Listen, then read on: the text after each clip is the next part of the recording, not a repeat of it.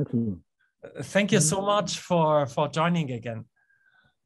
Thank you very much. Yeah, let me just height here for for you. Then Maybe I can introduce. I've invited Professor Sadato. He's not connected to Trinity, but he is uh, one of the top uh, experts in Japan. So I invited him Okay, also, yeah, to come know along. of him. yeah. and he knows your work for many many years. He, Right. uh, he just told me. Thank you for coming.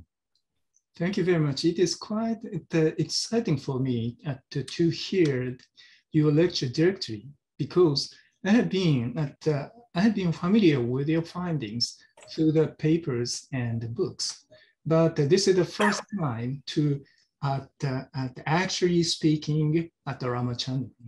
Therefore, I'd like to uh, enjoy the, uh, the lecture for the uh, next two hours. Thank you very Thank much. Thank you very much. Thank you for Uh, inviting me. Appreciate it. Professor Sadato, he is uh, professor at the Division of Cerebral, Cerebral Integration at the Department of System Neuroscience at the National Institute for Physiological Science. So it's a national institute of uh, government of Japan, near Nagoya.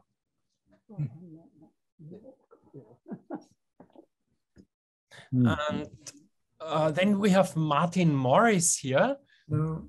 who is Oh. Uh, he's also Trinity graduate and he's now professor in Chiba University on uh, Japanese architecture. So he is an Oh. expert on how Japanese housing developed over the last how many years? millennia. Two millennia. So I'll show you something. I'll show you something interesting. Uh, excuse me for one second. Since you said architecture,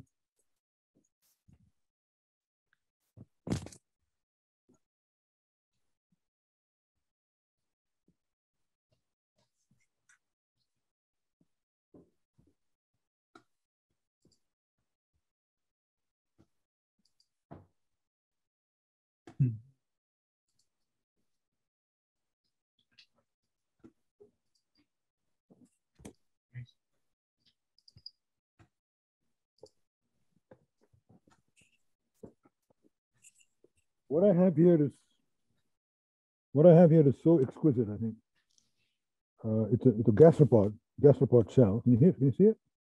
Oh yes, yes, yes. Oh yes. Ah. And it's it's from Japan.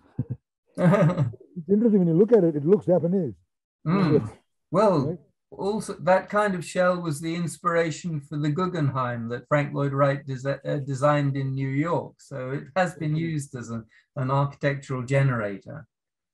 But right, yeah. spirals play a part actually in Japanese design. When they laid out, for example, the city of Edo, which is now Tokyo, Mhm. actually the, the design starts with the castle and it unwinds like a spiral. But it's interesting that you, you, it looks it looks Japanese. You think that's only because you, you've seen Japanese building built after this model. They're modeled after this shell, or do you think it's a coincidence, or do you think there's some Hmm. other convergence? Very interesting. Anyway, that's a- an aside there. But Thank you. Hmm. so yeah, I like you like, like me to begin now, or Yeah. Uh, if you like, we can start. Mm. Yes, if you like. Good. Uh, there are many more people who have registered, but ah, there's some coming more. There should be more coming, but you know, let's start, and they will uh, join. I don't, is it just me, but I'm finding it very difficult to hear. Uh, The sound is very low. I can hear you, but uh, uh, Professor Professor Ramachandran's sound is very low. Is Uh, that Mo- just me? uh, Maurice, uh, is Maurice there? Yeah. maybe? Uh, could you help? Apparently, the sound for me it's okay, but Martin says that the sound Oh, is. hang on. Shall I try putting in another? I'll try putting in another speaker. And... Yeah, maybe it's on your side. You know. Oh, that's better. It's quite maybe- muffled here as well. That's better. yeah, for, for me it's good. okay. Let, me- let me make sure that it's you can understand what I'm saying too. I mean, is, is it Yes. clear? Yeah. Okay, I can hear you now. Thank you. Late, late, lately, my speech has been de- slightly deteriorating, so you can ask me to repeat myself. I'd be happy to do that. Because we have so much time, an hour and a half, it's okay to interrupt and say, please. Ah, okay, okay. Uh, if you like, uh, uh, do you like to start? Uh, I- I'm, uh, whatever you suggest, you know, because you're master of ceremonies, so you want me to start now, we can do that, or we can start Uh, later. Yeah, we can start now, yeah, sure. if if it's okay, you can start. And Okay. I think Mm, maybe. Maurice can help you set up the the slides. No, it's all set up. Okay. I need uh, permission to share the. Ah, yes. Just one second. I have to set that up. Yes. Mhm. Just one second. Uh, okay, should work now. Okay. Can you try? Yes, I am able to. I believe Or actually, what I'll do first is I will go here. This one, Yes, that's this is the correct one. okay.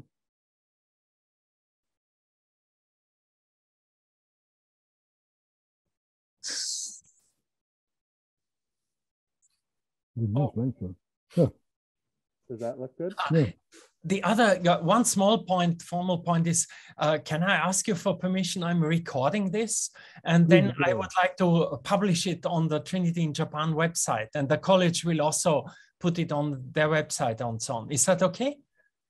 ninety-nine percent, if it doesn't go well, then of course we, we can change our mind and we can do it in a private recording and send it to you, but o- overall, it's fine, yeah, Okay, perfect. Thank you so much.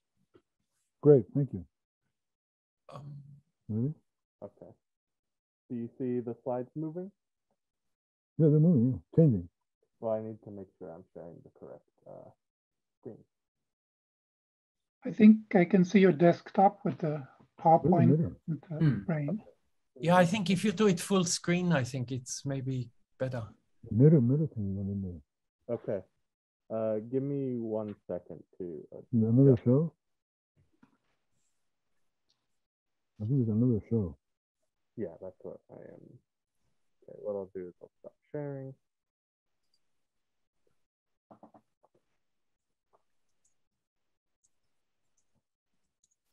This is the correct one. This is the.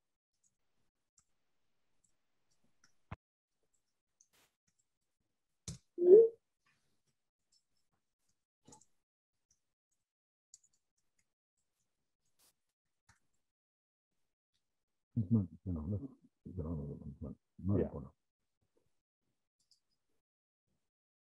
Can you see it now? Yeah, perfect, perfect, perfect.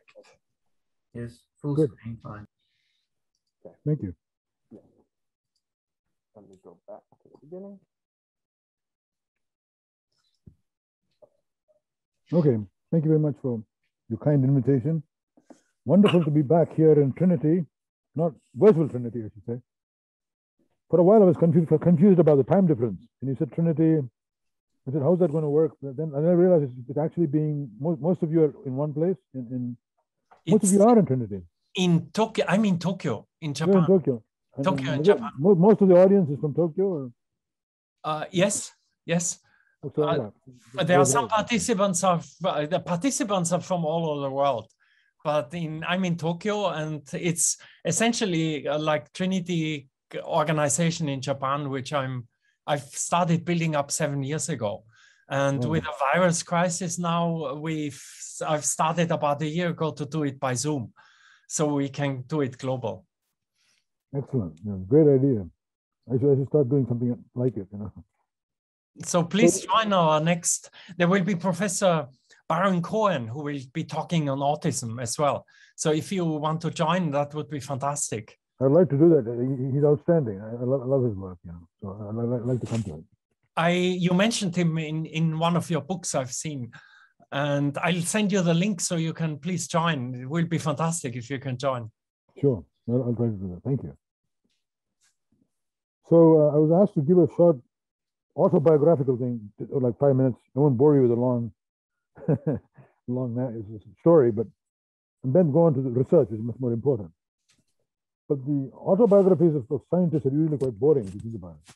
You think the guy has done very exciting research. He must be a very interesting person, but it's not always true. Okay. Sometimes it's true, but not always. So I was trained in, uh, I went to Bangkok. My father was a diplomat in the United Nations. As a child, I was quite, I felt a bit isolated, different from other children. And as a, as a little boy, or as a you know, big boy, in my early teens, I was feeling isolated. I was not athletic. I was not involved in par- parties and all that. I was more by myself. But I had one good friend, Somtao Suchiratkul, who's a, a grew up in the royal family in Thailand. He was in the same school, Bangkok Patana School. So then we often would go fossil hunting or shell hunting or all of these interesting things for me we found interesting. This is to give you a glimpse of what I was like very early in, in, in my boyhood. Then, then when I went to high school, then I started becoming more interested in science. We were very good science teachers, both in Bangkok and in India. They would bring, for example, chemistry. I was fascinated by chemistry because she would give us these color, colorful chemicals, of course. Take it home and play with it. It would never happen this day and age because people are worried about insurance, uh, worried about being sued and all that. Those days, she would give us some chemical, small quantities, go play with it. One of the things I remember very vividly is putting a, a, a nail, an iron nail, in copper sulfate solution is blue. After some time, the nail becomes copper. This is amazing. How, how is this possible? Explained the idea of displacement and all that. That, that sort of thing got me hooked. Anomalies. I, I used to call them anomalies. Something that doesn't, in that, that case, an anomaly about the world. Why would something put in a blue liquid become gold colored? Then, then I started thinking about more, more seriously about anomalies as, as, I, as I grew older and joined college. I was always drawn to the exception. It may not be a good good strategy for many scientists, but it worked for me. So you go for exceptional exceptional cases. Like for example, uh, standard example is continental drift, of course, which you all know about. Continental drift. Uh, then then there are other examples like uh, bacterial transformation, where you get bacterium pneumococcus one strain changing into another strain. How is this possible? Then then I ask what which many anomalies are fake. You can take uh, telepathy. You can study that for 20 years and waste your time. Now, I shouldn't say this in, in Trinity, of course, because they do have a a niche for that, even for that. But uh, in general, the telepathy has not worked. It doesn't work. It's bogus, right? Similarly, spoon bending from a distance is bogus. So how do you know which anomaly is going to give, go give, lead to a gold mine? Which anomaly is something you brush under the carpet and forget about? Don't waste your time on it. How do you know? Because if you, discover the right one, you change the whole course of physics or chemistry or any, any science. You discover a gold mine. You discover some trivial thing, you're wasting your time. And there are some rules of thumb you can apply. One is the intuition, a sort of nose for anomalies. By anomalies means something that doesn't fit the picture. In the Kuhn sense, Thomas Kuhn sense. Then you have to revise the whole model. Or you have to brush it under the carpet, pretend it doesn't exist up to a point. Then it becomes more and more glaring, and then you sort of say, I, I can't do this, I can't do this denial anymore. There's something interesting going on here. Then you latch onto it. One, one rule is if an anomaly is around, but resists attempts to disprove it, then then it's worth paying attention. But if it becomes smaller, as you, each time you try it, it becomes smaller. Conditions are more and more controlled. The, the so-called anomaly becomes more, and more small, vanishingly small. Then it's then it's bullshit. They start saying, "Oh, the weather is not right. You have to go only on summer morning, then it works. Only when the moon is aligned with it, then it works." They start making excuses, then you're in trouble. Then you forget about it, move on. Right? That's number, rule number one. Rule number two, but don't ignore something simply because it does not fit the big picture of science. That's one common reason people reject an anomaly. Because it's very often, it's true that it's a waste of time, it's a false alarm. But it's very often it's, it's really not a false alarm. If you pursue it, it leads to you, leads you to go discovery. Right? And uh, so what would be an example of that? Continental drift is a good example. The people said the you know Wegener, the, the meteorologist said that how come the boundaries of the continents fit so perfectly? Any child must have asked it. Lots, lots of children ask teacher, school teacher, where does the boundary fit? The teacher said, well, this is coincidence. But this guy persisted. And then, then the pundit said, look, it's not a perfect fit, it's only approximate. Then when he did the sounding of the underwater, then the perfect, it became better and better as you go deeper. Why? Because there is surface erosion the land, the, the water erodes the surface, and surface fit is not very good. But When you go deep into deep underwater with no turbulence, the fit is better. you got these clues, and then you got a clue that, that the dinosaurs. There's a creature called um, Mesosaurus, Mesosaurus, freshwater lizard, found only in the east coast of Brazil. Sorry, yeah, east coast of Brazil, west coast of Africa. Only two places in the world is found this freshwater lizard. So they said, um, so Wegener said there must have been, since because they can't swim across seawater, these two must have been one continent, South America and Africa. And there's a freshwater lagoon. This, this fish, this, this lizard thrived there in the Permian. And then the, the drift occurred, and then you know the, fossils are found there. They, they didn't find the compounders didn't find it very convincing until he talked about dinosaurs. Dinosaurs, the same genera and families you find west coast of uh, east coast of Brazil, west coast of Africa. They said the pundit said, "Well, look, there's a land bridge they must have crossed the bridge and then died at the other end. This to me is much more absurd than, than the notion that, the continents were together. But at that time, people didn't know. So the reason they rejected it, why did they reject it? Because it contradicted one basic principle of geology, which is that terra firma. Uh, one, one thing you take for granted is Earth is solid and firm, psychologically. To say that the continents are moving, you cannot, you cannot conceive a mechanism.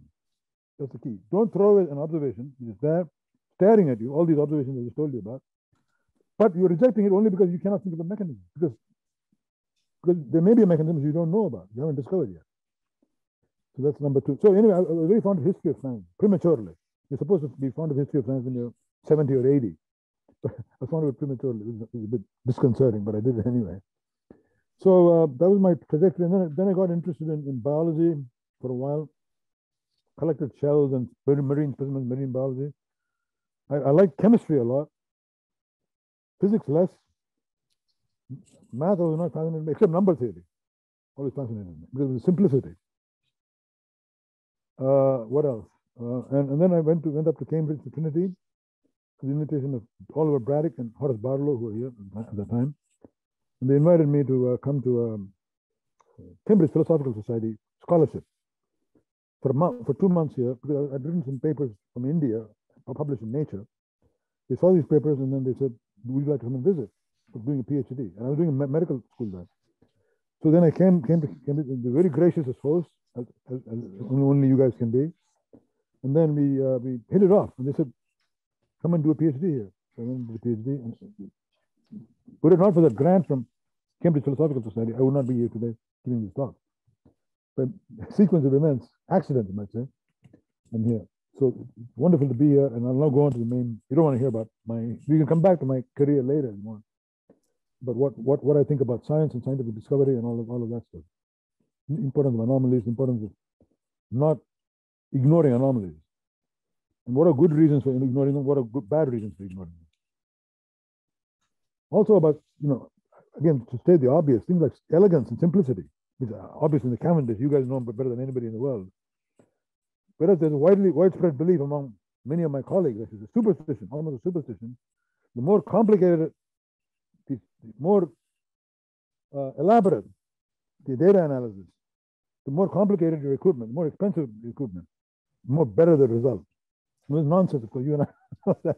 I mean, with Crick and Watson sitting in that shed, not far from here, not far from here, but in Cambridge, playing with these magnets and bits of wire and, and then discovering the most most important discovery in biology of the century, of all time maybe. So it's nothing to do with having, you know, having very sophisticated equipment. I tell people actually stifles your originality and creativity. Far from improving it, actually stifles it. Not always true, but can, can happen. It's a dangerous game to play.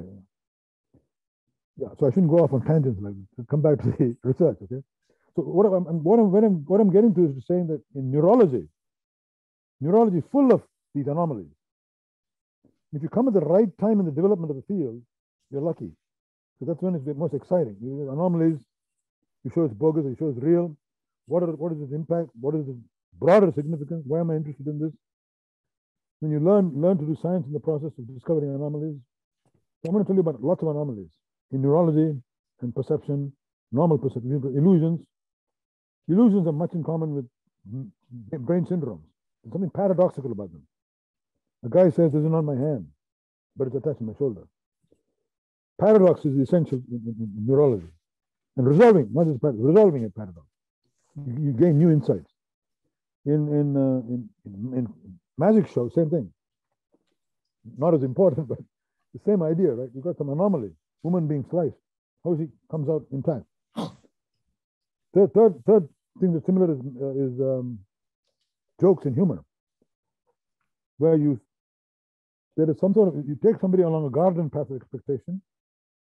I think there's a you build up a story, a narrative, and suddenly there's a twist, which entails a complete reinterpretation of the entire narrative, right? But then the reinterpretation, very important, should not lead to harm. Should be harmless reinterpretation. Then you start laughing. The, the, the portly gentleman walks, walks across, you know, he, he slips on a banana peel and falls down. Slips on a banana peel and falls down. You start laughing, giggling. But if you, head blood starts coming out, you don't do that. You call the ambulance. Normally, there's some perverse people who might. Normally, you'd call the ambulance. Right? So, key difference is in one case, wipe out the banana. There's no no harm done. So you, you keep quiet. You just laugh. You tell people your, your peers. Then there's, a false alarm. Don't worry about attending, coming to his aid. Don't waste your resources. False alarm. On the other hand, uh, if, you, don't laugh, you know, the true, true alarm, the different sound you make. So this, in my view, this is the origin of laughter in humor. So here again, it's about anomalies, right? Something anomalous at the end, then you change the story. So there are similarities between humor and, and doing science and magic shows. I was interested in all three. And I don't think these are necessary conditions, but they often you often see that in, in, in, scientists. Okay, so let's move on to the first anomaly. Um, I think I'll talk about phantom limbs is over publicized and widely known, but I will allude to it briefly, some new findings that have made on phantom limbs. But I'll also talk about an extraordinary condition, which not much is known, but we've started working on it, called apotemnophilia, apotemnophilia or xenomelia. Xenomelia, your arm is eh, foreign. This is seen to some extent in strokes, but different syndrome.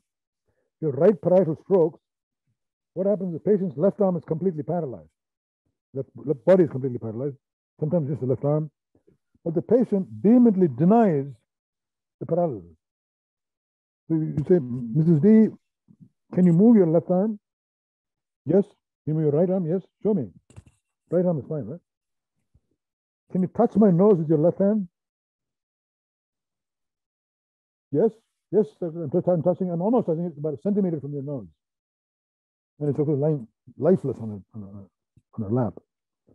Why would an intelligent person who can play chess with you talk about anything under the sun, when it comes to her hand, say it's moving fine and it's lying lifeless? Now you can take this a step further. Can say, it's look, it's attached to you.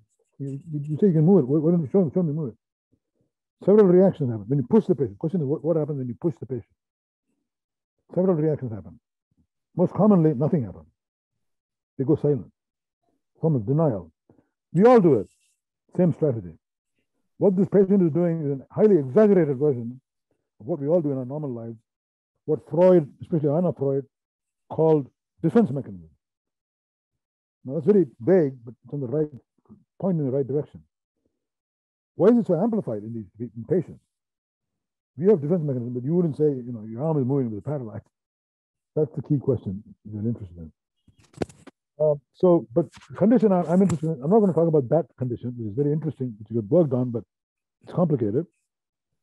Uh, but just to tell you, tell you, about anomalies, right? I'm telling you about anomalies. Another example is a woman who, who not only denies that the arm is paralyzed, but denies that it belongs to her. It's even rarer, but you do see it once, once every couple of months. You see a patient. You see, so I, I saw the patient not, not long ago. Said, "What? Can you move your left arm? Yes. Can you move your right arm? Yes. Show me. Move, move your right arm. Touch my nose. Touch my nose with the left hand. Okay. Mrs. D, can you move your left hand? Yes. And I've, been distracting her for five minutes. Mrs. D, what is this? That's my brother's hand. Why do you say it's your brother's hand? It's big and hairy. But where is your brother? Maybe he's hiding, hiding under the chair, maybe? Her, her talking. Intelligent woman. That's what she said. Let her go. And then talk for chit chat her another two minutes. Can you show me again? Can you move your right hand? Can you touch my nose with your left hand? Touch my nose with your left hand. I'm telling her, right? You know what she does? That means somebody in there knows that her left arm is paralyzed. Somebody in, uh, in there knows that that's, that, that, that in fact is her hand, not somebody else's hand. But when you ask her explicitly, she gives you a different story. This is true of all of us in our daily lives, by the way. It's not just true of the page. She's just comically, comical exaggeration. But here you have a laboratory for Freud. For all the discovering these defense mechanisms, why they occur, what the evolutionary role is, why do they evolve. But that's another thought. Let me move on to the, another condition which is called apotemnophilia, where a patient, a guy who's otherwise completely normal, holds a normal job, has family, career, everything is fine. But harbors a secret desire to get rid of his left arm or right arm, most often left arm. Amputated. This is pretty grotesque. Imagine somebody comes to you and tells you he wants his arm amputated. Nothing else wrong with him. Not psychotic, not, not any no mental mental instability. So why does this happen? And uh, we first thing we did was some routine neurological testing. We thought maybe the sensations were diminished here. The sensory pathways from the arm to the brain are diminished congenitally. And therefore, the arm feels odd and he wants to remove it. Reasonable, unlikely, but reasonable theory. So what we said was, let's try that. Let's see what the sensations are like. We measure the sensations there, it's completely normal. By the way, another thing that clued us in, this patient, people used to say, there are theories about this, by the way, before we came along. The chat groups, no scientific studies, chat groups. Um, among them, there's some attempted theory, why, why they have this abhorrence of the arm. So I asked the chap, I said, why do you want your arm removed? If it doesn't feel that doesn't belong to you? Alienation? No, no. On the contrary, it, it, it's intruding on me constantly. It's, it's, not, it's not as though it doesn't belong to me. It actually over belongs to me, like an unwanted child. I wanted to get rid of it.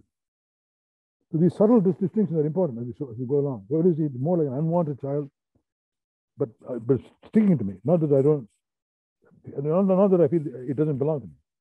It over belongs to me. Over belongs to me. Okay, keep that in mind. Then I said, okay, well, what maybe what's going on is um, let's go and record in the brain, maybe something, something there.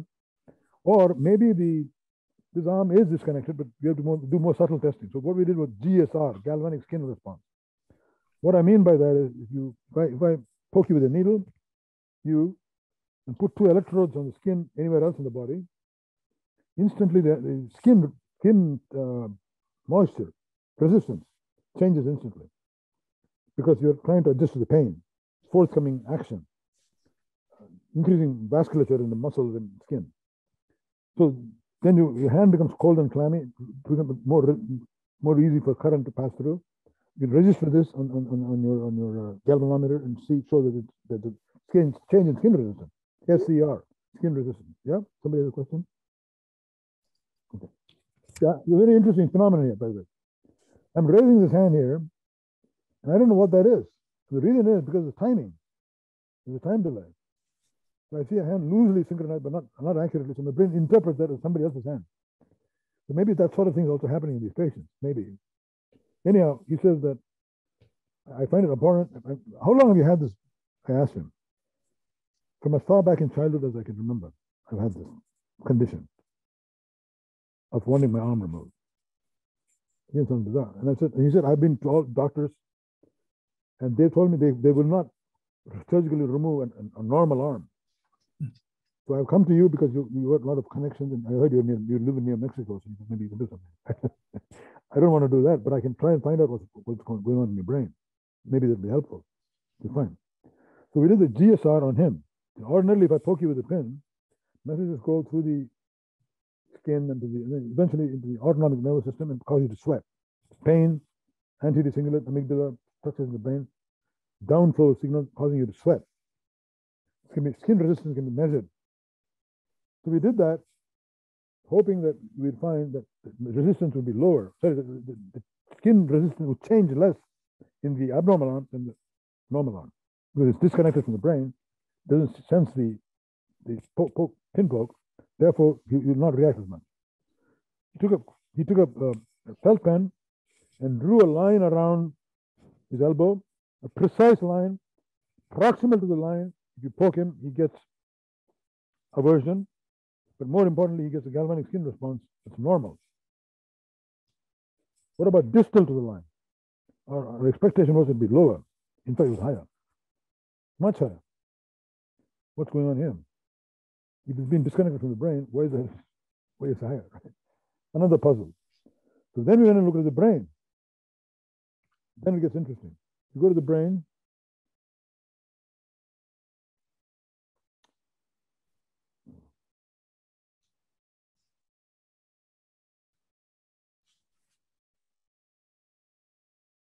Okay, that's good one.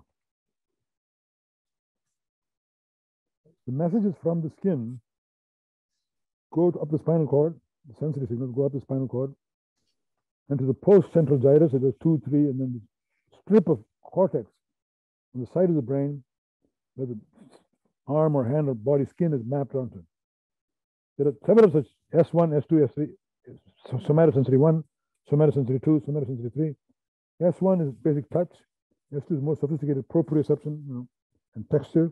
So get information processing gets more and more sophisticated as you go along along the pathway. So when we went to S1, S2, so we, so we found nothing in this. Uh, Told you in the skin is normal when you poke it. When you go to S2 and S1, again completely normal. Sorry, S, S1 is completely normal. The brown stuff. There's a map of the body on the surface of the brain. That map is completely normal. So we said, what are we wasting our time here? Everything is normal, right? Then we went to the superior parietal lobule. It's not that it's in that region, roughly in that region.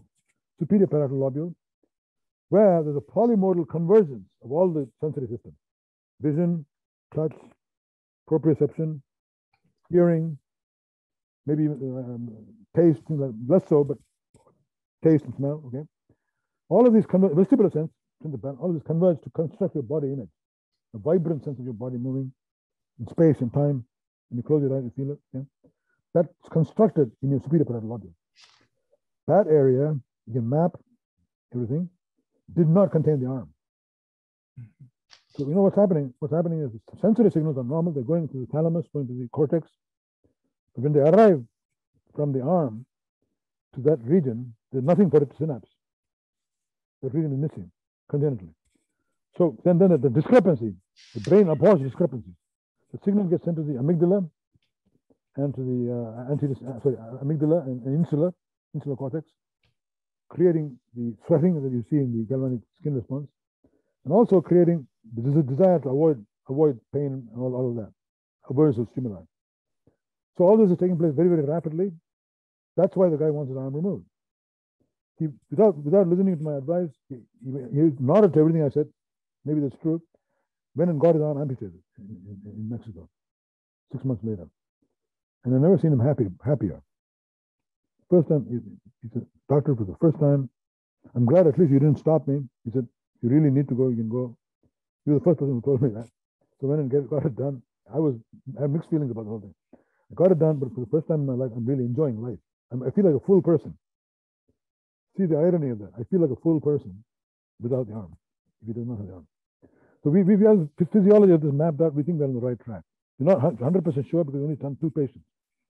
Another group has confirmed this. So we're reasonably sure, but not, not 100% sure. Now, that's apotemnophilia. Apotemnophilia, I told you about that. Or xenomelia, it's called. Another name is xenomelia. But before we came along, the standard theory you find in psychiatry textbooks was a Freudian one. At least some, some of a Freudian one. They said the guy wants an arm removed because he wants attention. Bizarre. I mean, what would, that, is it, it's a drastic having an arm removed just for getting a little bit of attention. Why not wear a funny, funny shirt or get nose, bit of your nose, bit of the ear? Why the arm? Just didn't strike me as plausible. Also, another theory was that these guys uh, are sort of, they, they want to amputate the arm because the stump resembles a giant penis. This again strikes me as absurd, but Orthodox Freudians think there's something to it. So we can advantage of this science, cognitive neuroscience is basically can replace this vague cognitive, vague, um, I don't want to say Freudian, but you know, theory of that kind, and come up with look at the actual neurocircuitry in the brain, and do very simple experiments. The experiment we took one day, and figured out why there's a group of people on this planet who want their arm removed. Question is, can you help them anyway? That we have not achieved. But the next next slide shows you that in the case of uh, the converse of this, where the guy arm removed versus it's been removed, but he still, still, still has the arm there. He thinks the arm is there. Not, not thinks, he feels the arm there. That's called a phantom limb. By the way, am I audible and easy to understand, or shall I go more slowly? No, it's perfect, perfect, perfect. Okay. All right. So um, going back, back to the phantom limb, been known for a long time. You all know about this, all stories floating around. Okay. You remove an arm, basically you feel it, you feel a phantom, presence of a phantom there. What we found was that you take a Q-tip, you do a routine neurological exam on this patient with phantom limb, touch him in different parts of the body, and face and head and all that. Then what happens is when you touch the face, lower part of the face, okay, you touch it, you say, oh, that's my forehead, that's my cheek, that's my neck, that's my chest, that's my chest. Oh my God, that, I feel that in my phantom thumb.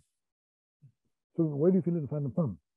Don't know, oh, that's my phantom index finger, phantom pinky. He took a felt pen and drew a sharpie and drew all the fingers. It's like what we call single unit neurophysiology.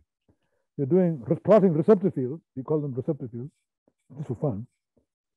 Same thing, what how Horace Barlow and others called receptor fields. We discovered receptor fields. So here, uh, these are those are physiological receptor fields. These are psychological receptor fields, obviously. Right? So we, we, found these and then very clearly demarcated from each other. Thumb, finger, there's no overlap. Clearly demarcated from each other and stable. It doesn't matter a month, same map emerges, and they they, they wipe the. You take a photograph and wipe the face afterwards. So you know they haven't. There's no reason for them to even try to keep the map, right? So we were sure it's a real phenomenon, but referees didn't believe it. Finally, was published in Science. And then we did some brain imaging, which you have to do. You don't have to, but it's good to do it. and showed that the map in the brain had changed. How, did, how does it change? That's a normal map in a normal person, coronal person. Notice certain peculiarities of this Penfield map. Map by taking human subjects undergoing surgery for epilepsy, putting electrodes in different parts of the cortex, asking them, what do you feel? Tingling. Oh, my thumb is tingling, doctor. My index finger is tingling. My pinky is tingling. tingling sensation is felt, and uh, you get map out the entire body surface and the surface of the brain. So far, so good. Now, what's interesting though is some parts are overrepresented. Look at how the lips and the lower part of the face is, is much bigger than the entire hand. And the body. Look at how the hand alone occupies the same area as the body. No doubt because you put your hand to, through a lot of use. Right? Okay. We, we think that's a plausible explanation. Now, another another peculiarity is the fact that Anybody here in the audience can, can tell me what another peculiarity is? A map requires that two adjacent points in a map, uh, uh, adjacent points in the world are also adjacent in the map. Number one. Number two, the one-to-one. You can't have one point representing two points. So you get topography. All those principles are true, except that the face is much bigger, so you get magnification. Principle magnification. And, and another peculiarity is dislocated. The penis and genital, instead of being near the, uh, you know, in the crotch are actually below the foot. Nobody quite knows why. Um, some, some people have suggested ideas that come to. The head should be near the neck, but it's dislocated below the hand, correct? Another funny thing is the head is up, right side up. Everything else is upside down, head is right side up. Why is that? These are anomalies, right? All of these are anomalies. The whole phenomenon is an anomaly, phantom limbs, but within the anomaly, there's sub-anomaly. So homing in on the sub-anomaly, why did this happen? When I went and looked at the Penfield famous map, the Penfield map has become iconic of neuro neurology and neuroscience. This map, right? We went and looked at, I went and looked at original data. Very, very difficult to get the original data. This is pre-computer age. You had to get an antique book, look through it, antique monograph, and then we found that there's a couple of each each point, one one one subject is one point or two points, averaging over ten subjects. So very poor statistics. So uh, but not to not to belittle his discovery, very important discovery. Obviously, a map of the body and the surface of the brain. But I said maybe he got this oriented in the head wrong. There's very few points. So maybe Penfield got the head wrong, upside down. So I said, let's go to a normal person and then repeat this with more careful measurement, just for fun. We're giving a lecture at Stanford, and Engel, Dr. Engel, listen to me, Steve Engel. We're in fact this week we're recording from S1, S2, and we're mapping the Penfield, sorry, mapping the Penfield map using uh, brain imaging. We'll tell you what we find. Would you, do you want to collaborate? I don't, I don't want to collaborate. You, you, do it. So then a week later, he phoned me and he said, My God, you're right. The head should be the other way around. Great. Now, who cares? Doesn't matter if some quirk in the middle of the map, maybe. I especially like this experiment because it's the first first time somebody can come with a Q-tip and spend half an hour on the face and disprove 50 years of neurology, saying all those diagrams should be replaced. every every medical school student reads about his head being upside down. So I, I had the sadistic thrill of doing this. That's the only reason. There's no theoretical importance. But I thought I'd just mention it. Okay, now what, what else can you do? Okay, what about how long does it take?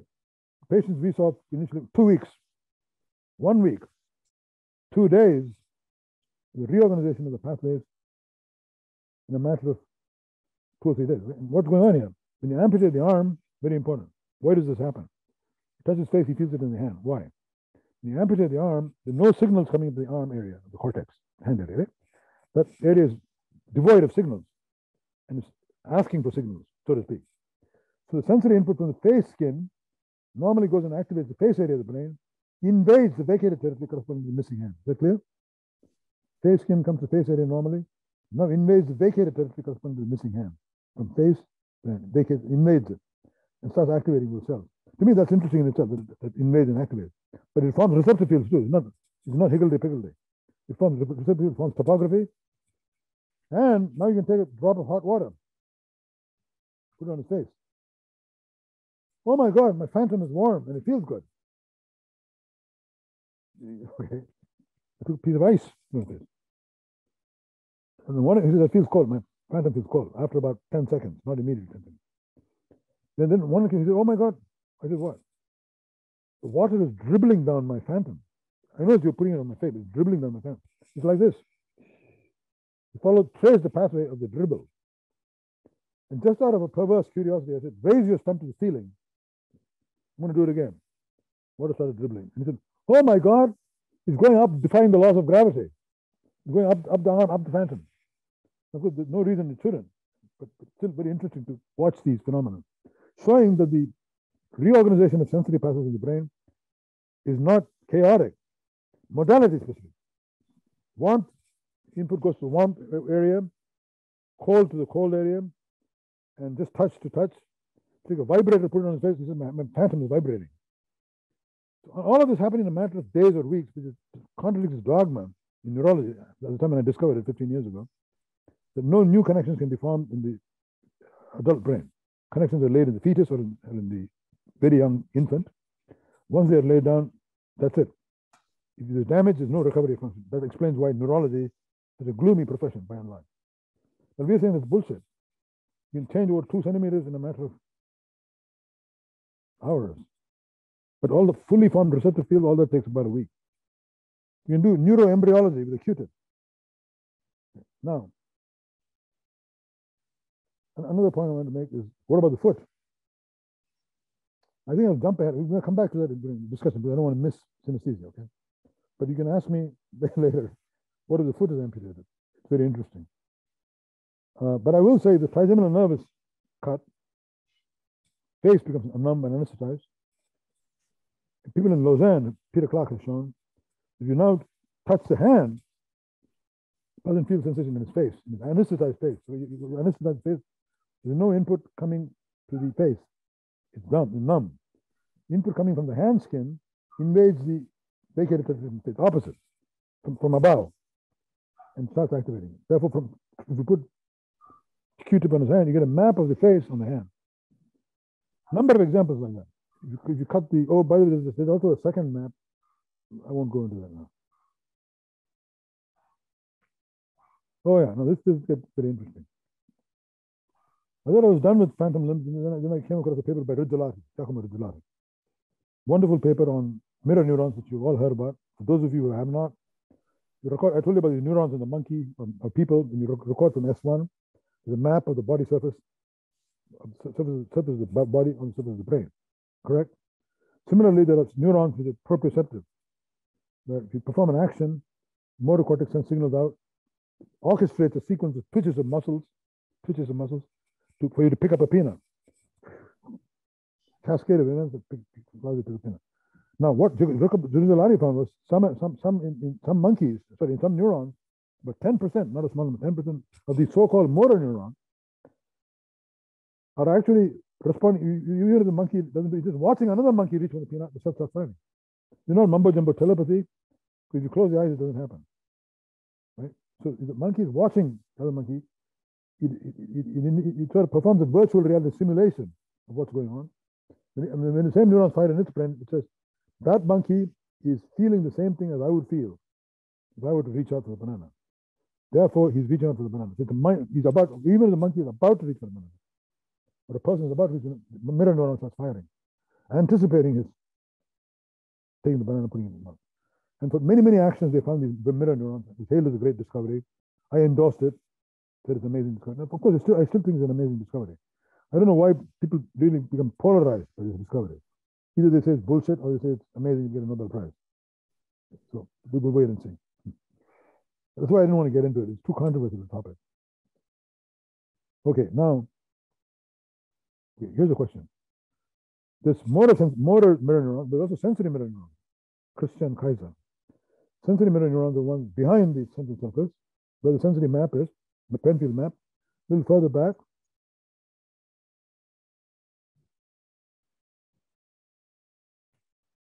um,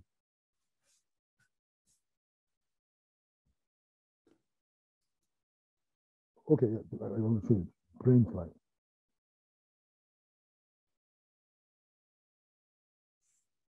Uh, you want to move the slides or? Yeah, I was going to go to the brain, yeah, generic brain slide. Okay. Uh, I, I Yeah. can only see the title slide now. Oh, you not been seeing all the slides? Yeah, yeah, only the title. That's bizarre. I, ho- I was hoping you could see the slide. I'm sorry about that. Why is it you can't see the slide? Uh, I don't know. I can only see, I, I see the title, the first slide, the title slide. I Where it showed you about 10, 10 different slides. I mean, that means none of this would have made, made any sense. I can see embodied brains and disembodied minds, the title slide. Okay, wh- I don't know what happened. We need to fix that. We need to fix that. before We can, you know, I'm changing, changing slides right now. Uh, You don't see any of those changes.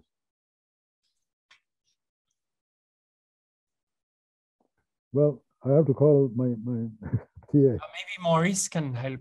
Uh, Maurice here? Maybe. I can see a different uh, slide than you can see. I, I, I don't understand exactly. But I Yeah, only, I, I- I saw 10 different slides, 10 different. oh, okay, I only see the title slide.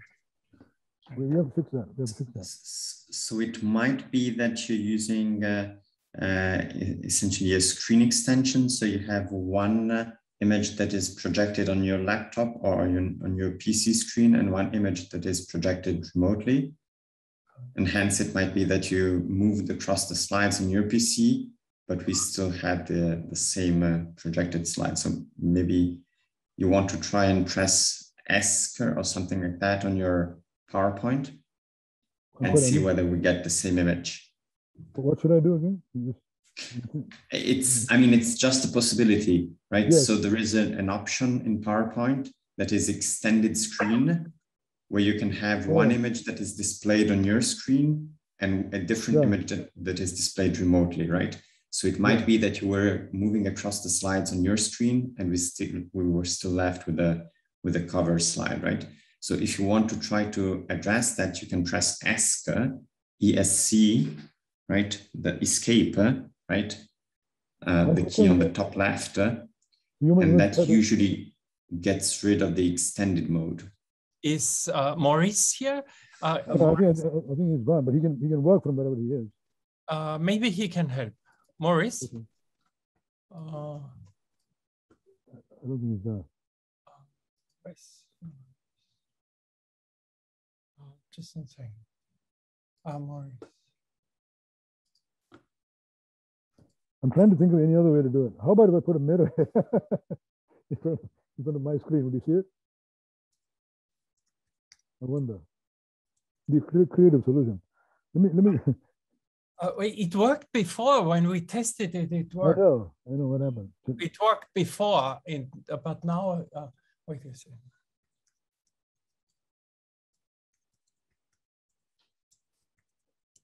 Let me see.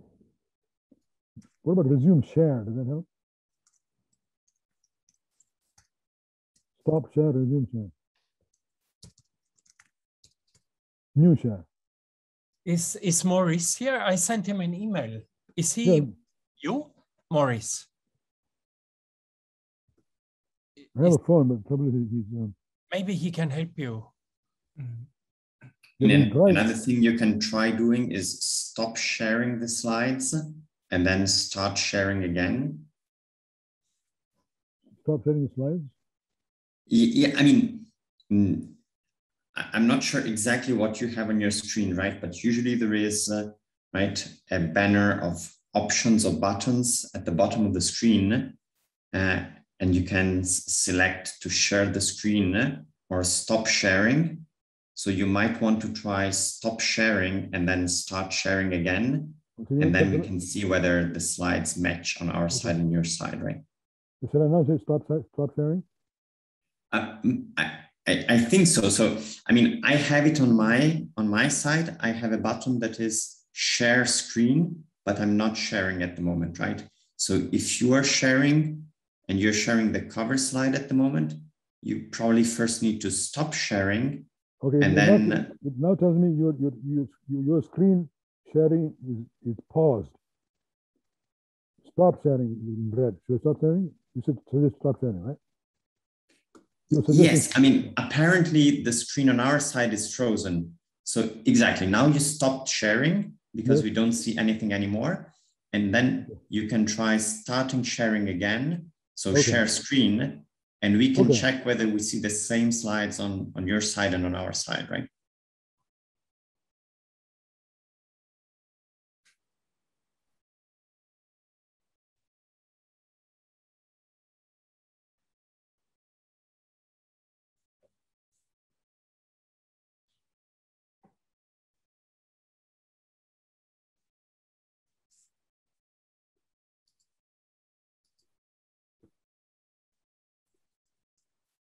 This is the one we just had. Ah, now. Yes, Yes. Perfect. Perfect. Perfect. Perfect. Okay, what, what can you see there? Uh, a face with a brain on the top. Uh, it's, so it's, it's yeah, slide two of 63. We also So see I- the I- slide number at the bottom. It says slide two of 60, of 63, right? slide I number two. I can't see the slide, so I don't know. I, I, I, can I remove this? Uh, It's- There's a panel here to zoom back to meeting. uh, we can schedule. see the slide number two now. Uh, and we see your whole desktop here. Right. The problem is I see only a white, white, white. I see you got three faces. On the screen, I only see a white screen with back four buttons. Ah, Schedule button. I, I- know, I just move it away. Maybe I move it away. Yeah, I'm able to move it away. Okay. Well, well, now, now what happens? Now, okay, that's the, the brain is the slide, right? Slide with the brain. Is that what you're saying? Yes, we can see the Yes. brain from the, from the top. Right Kind from the top, illuminated, colored, colored, illuminated. It's color, colorful. Yes, that's right. Blue Yes. and uh, red and white and uh, orange or yellow. We Yeah. can see the different parts of the brain in different colors. Okay, so that's correct. That's working. I'm going to be Yeah. careful not to lose it. And then from here, you can probably just uh, right use the arrows at the bottom to move across the slides, and we will likely see all the different slides because we see the full PowerPoint Okay. window, right? Okay, let me do that. Let me see if I, I hope nothing happens. Oop. Uh, the, the, the button doesn't doesn't change the slides. Maybe there's another button second. Well, I mean, I I think you're controlling the black arrow over there, right? On the left. A black arrow on the left. Um, I mean, the, oh, I the mouse On- arrow. On, on, the mouse on, on the mouse pad. Yes, Oh, yes, exactly. Okay, and the launch So- pad. the- So if you move that Two? to the to the arrows at the bottom of the PowerPoint window, right next to slide two of 63, there's an arrow on the left and an arrow on the right. If you press on those arrows, I think it, it would probably Right. I'm trying to find the arrows. I got, I got arrows on the keyboard, but I don't have any arrows on the screen. Oh, okay.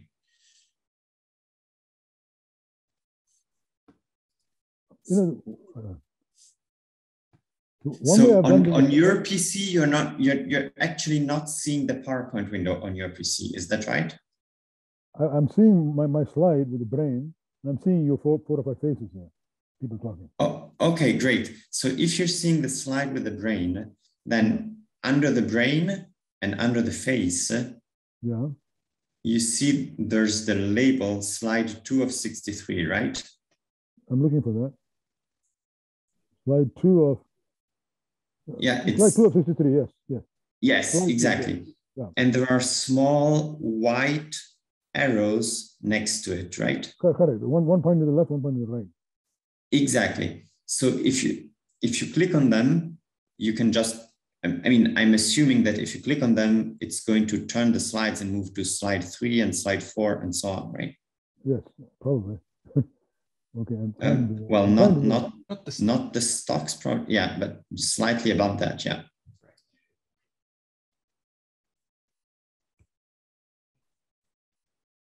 Yeah, exactly. Yeah, I have to do it carefully, but it's working. great. So you can move across the the whole presentation like that. I'm going backwards here. Okay, that's right. So that's, that's, that's the first slide. I'm just going to touch, touch on, the, briefly show you the slides again, so those of you didn't miss the argument. Mm-hmm. Okay, Okay, perfect. perfect. okay, just briefly to remind you that strip of cortex on the left visual, there's a left visual cortex there. I can't use my hand. You can see the left frontal lobe, left temporal lobe, occipital lobe, and in the middle of the brain, there's a brown strip going down. That brown strip is the on my left side, is somatosensory cortex one, which I told you about.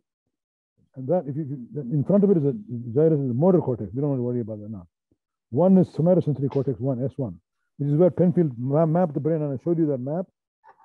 Right. So I'm going to move further forward.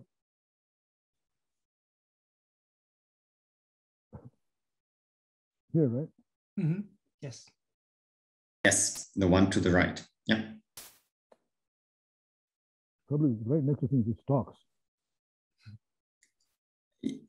Yeah, I mean, you can just press there because under it you have that small icon that's a stock market app or something like that. But as long as you stay on the arrow in the PowerPoint, it moves the slides. Yeah, exactly.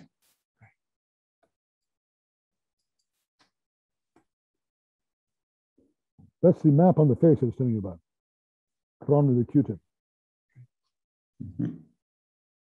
What do we say? We talked about apotemnophilia. That is same map. the- the- all the areas are present accurately. Only when you go higher up to the polymodal uh, superior temporal gyrus, that you lose the face area. So there's a discrepancy. The, the brain says, I don't like this, the burn. So you the arm removed. It seems strange to us, but to his brain, that's what makes sense. Uh, And then after that, I'm glad we discovered this. I'm sorry you guys had to. There's a map again. I don't know why it's doing it again. Oops. How did that happen?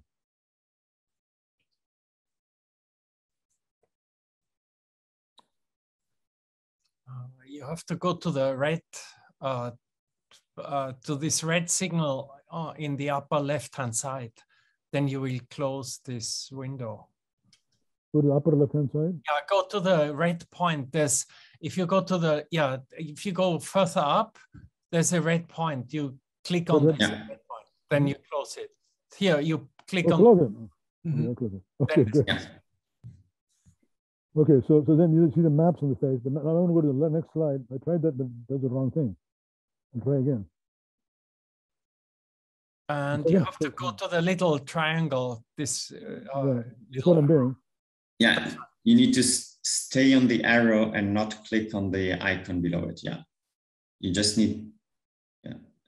Over there. Stocks, Yeah. stocks, stocks again. Uh, Mm. yeah, it's slightly above it. Yeah. I mean, you need to stay on the, ar- yeah, that's right.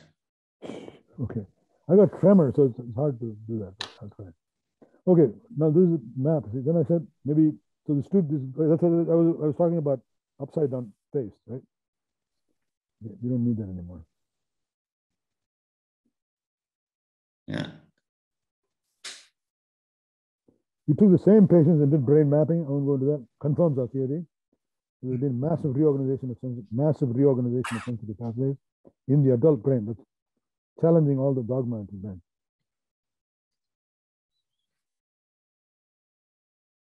I wish somebody would remove that stocks. Yeah, you have to move yeah, a little bit up. It's this arrow is very small. It's hard.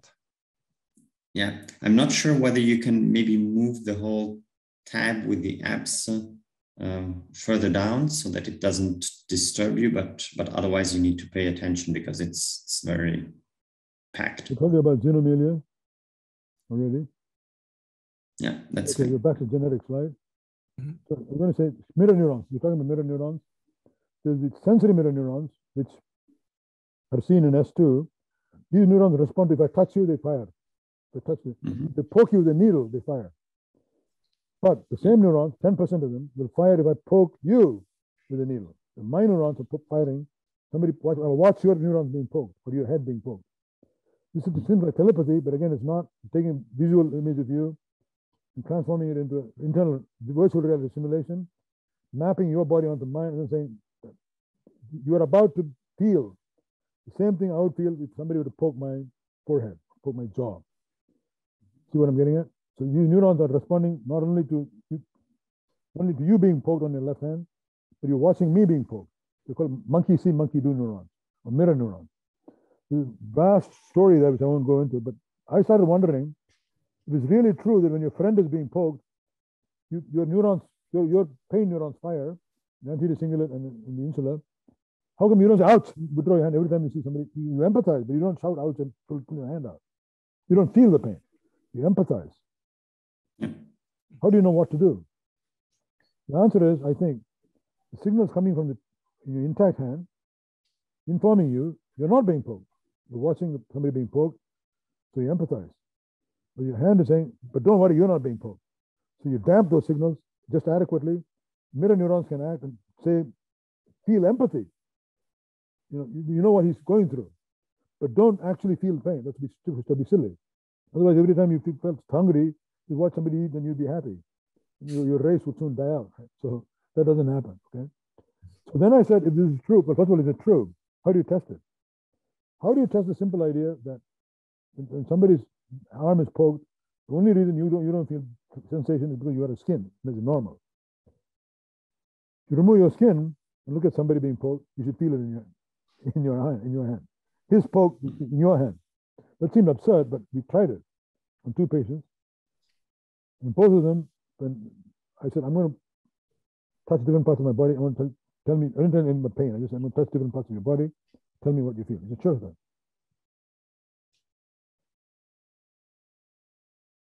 I don't feel anything. No, he, he he, the part has not been amputated. I don't feel anything.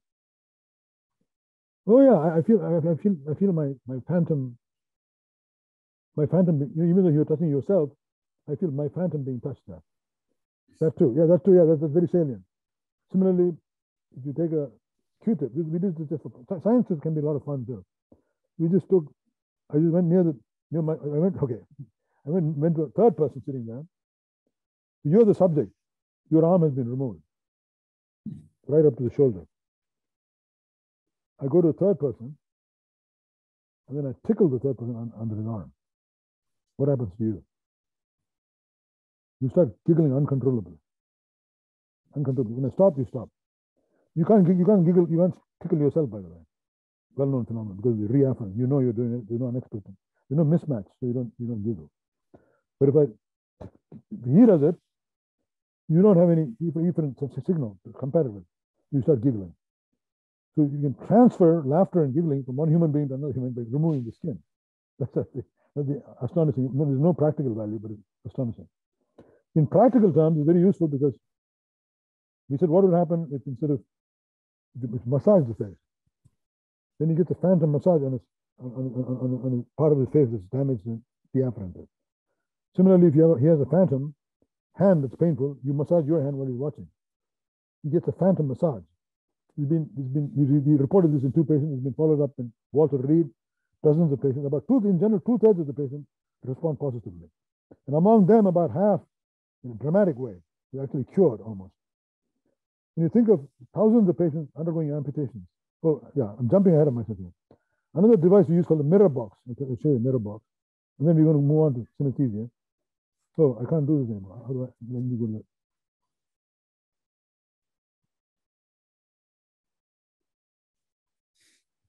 So the patient comes with a phantom arm. Sometimes they say the phantom arm is fixed in a particular position. Phantom arm is paralyzed, doctor, he says.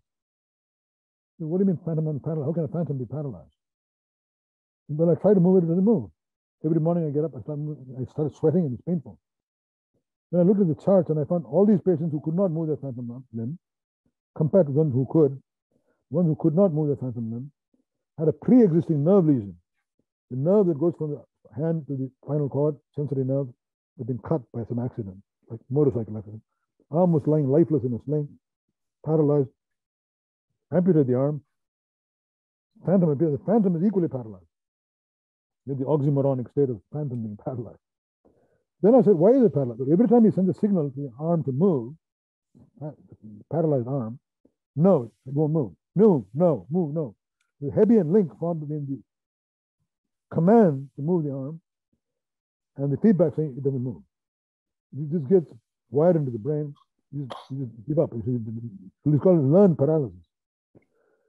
Very, very far-fetched idea. I said, what if you then put a mirror? No, sorry.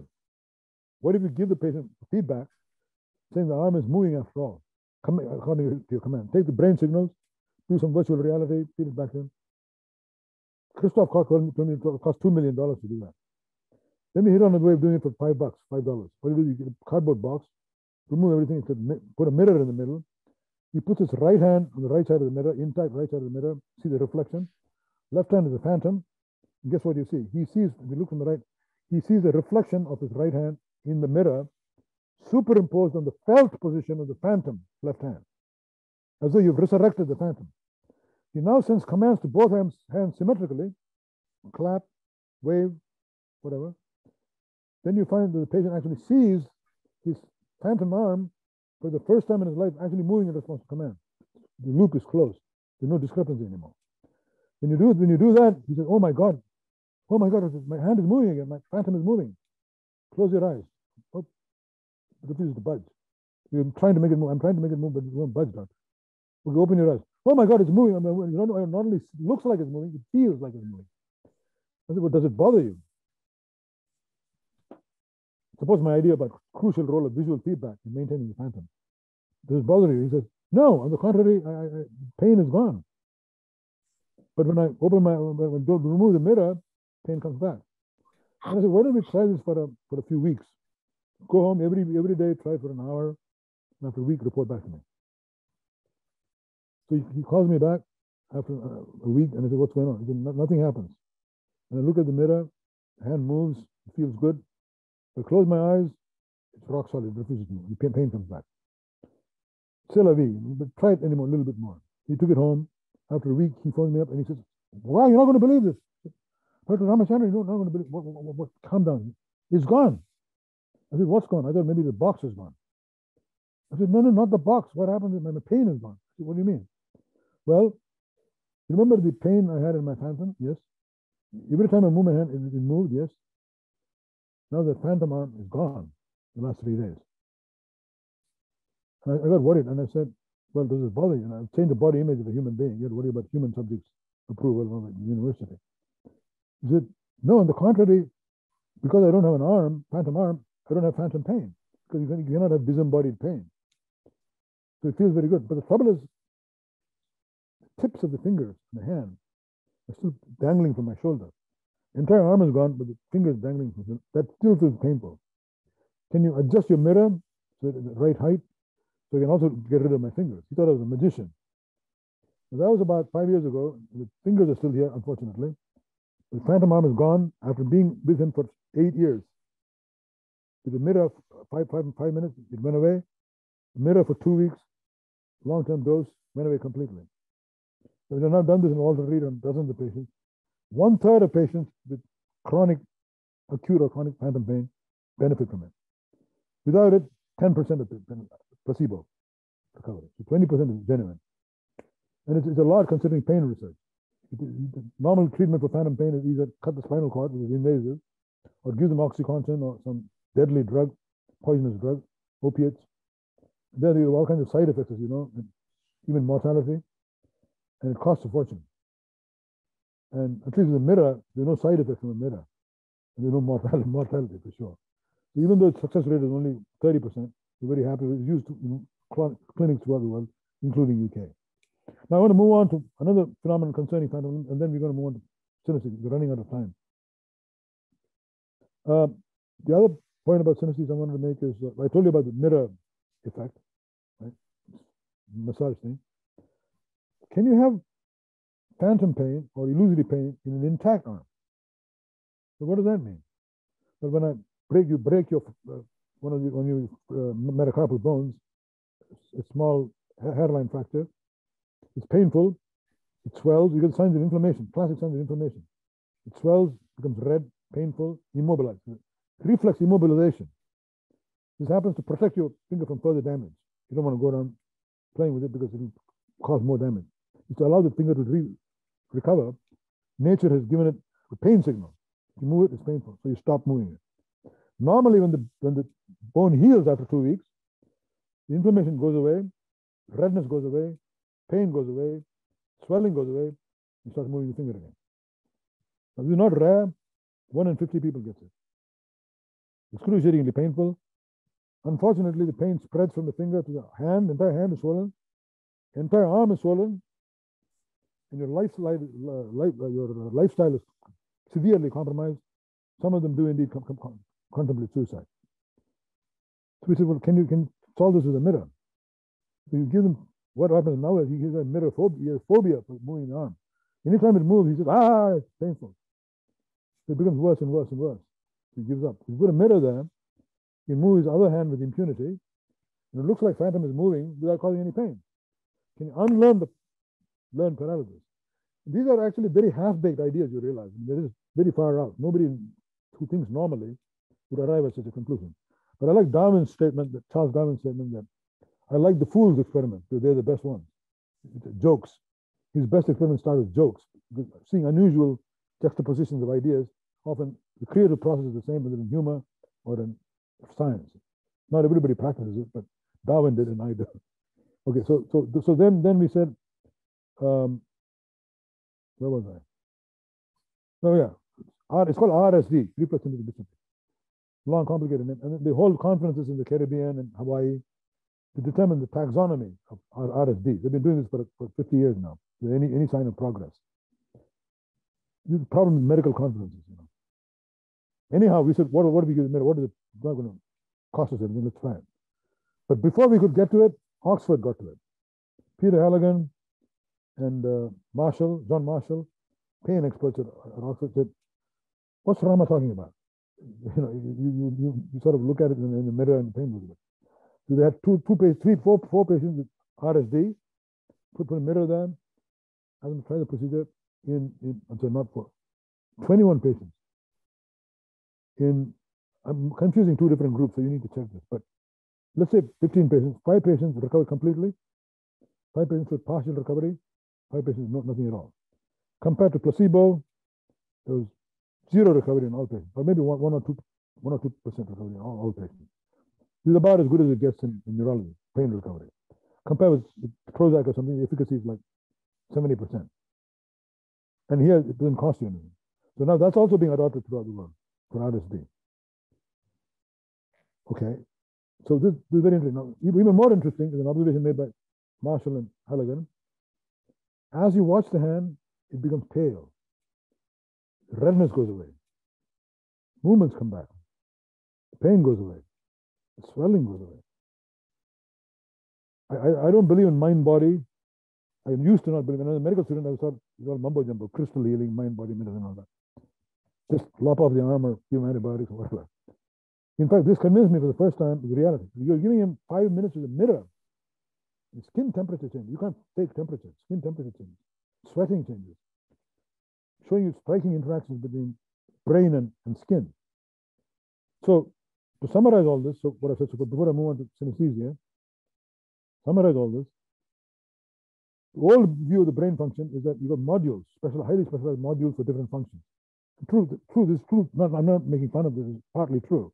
You specialize for face recognition, for example, recognizing faces, or color, or motion. There are modules, they do exist.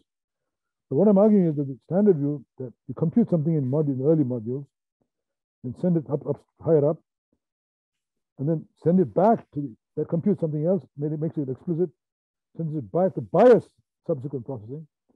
This chain of chain reaction continues. This serial hierarchical bucket brigade of autonomous module activation continues into the brain. As many signals coming back as going into the brain. I, It was a pretty zany idea at that time when I published it about 25 years ago. But people have picked it up now and, are starting to talk about it. It's also an obvious idea. It reduces the problem space of perception. of perception. Otherwise, it's enormously under constraint. That could be a million different images, but my home, my brain homes it instantly on the correct image. The only way you can you can do that is by something like what I said was suggesting earlier. Now, um, so messages go not only from the skin to the brain, but come back from the brain to skin. Secondly, you get intersensory effects. Even touch and vision are not separate. They're inter interacting profoundly. Pain is being modulated by touch and proprioception. Who would have thought? And then what else can you think of?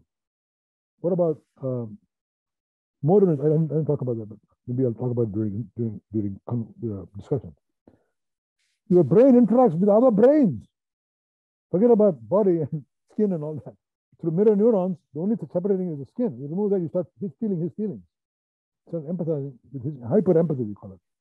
Also been studied by Sarah Blakemore and by uh, Jamie Ward and others.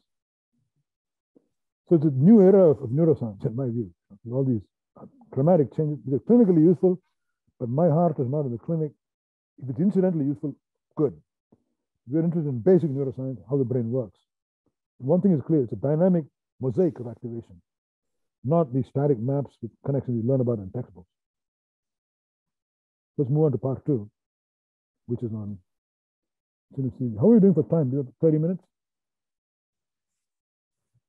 Uh, 20 minutes? How, how do you? Yeah. Yeah. Okay. You always stop me anytime. Uh, anytime. We have all the time you you like. That's what I wanted to hear. Okay, good. Uh, uh, let me just... uh, so Greg Winter, he took about two and a half hours. So we have any time you like. I'm sorry, I've been going on for two and a half hours? No. Yes, we can see. I'm saying, have you have you you already gone on for two and a half hours? No. Uh, you already you've gone on for about an hour, right? Uh, hmm. anytime you like, it's it's no problem at all. I, I might just disconnect at some point because I'm connected from Europe, but otherwise, uh, I mean, it's very interesting. So, thank you. Great. Sure, sure. Okay, now I'm going to go on to. Um, well, this, by the way, phantom limb pain, just some quantitative data. You can go and read the journal article. I'm not going to explain it. Decrease, decrease in the, the covered mirror is a placebo. Mm-hmm. Pain goes up actually. Mirror it goes down. Not, not quite monotonic, but it goes way down makes it more making life more bearable. I'm going to go on to the next section, which is about synesthesia.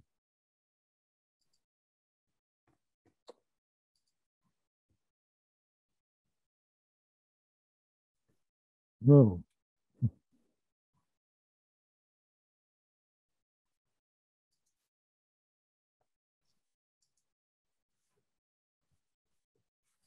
Hmm. Okay, that's an example of RSD, where I told you about the swelling of the arm. The bones get swollen too, not just, the, you're talking about mind body. A mirror changing the bones, you know. There's a leg, foot. Again, RSD pain with mirrors. It's about different kinds of therapy. mirror neurons. Keep, clocks keep intruding themselves. Phantom massage.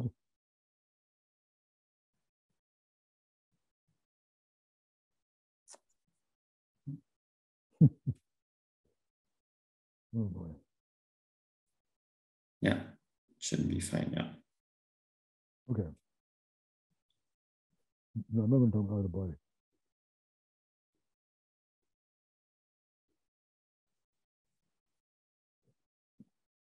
Okay. I wanted to tell you about pseudo syndromes, but we'll do that during discussions. Okay. Just remind me. Synesthesia is not a pseudo syndrome. It's perfectly valid uh, phenomenon. It has been known for since the time of Galton or earlier, Charles Darwin's first cousin. And he noticed that certain people who are otherwise normal would see numbers as colored or letters as colored. So five is red, six is blue, seven is chartreuse, eight is indigo, often idi- idiosyncratic colors, not necessarily common ones. And they persist over time. You bring the same guy later, Simon Baron Cohen, by the way, the first person to show that. You bring, bring a person after a few weeks, test them again, with exquisite precision, you pick the same colors, same hue from the color, wheel. So very likely that this person is not just trying to con you, but it will still be goes home and memorizes it. You don't know. But then we, we decided to study this phenomenon because I, I became very curious. I'm always curious about anomalies. What's going on in the brain when you, when you have synesthesia?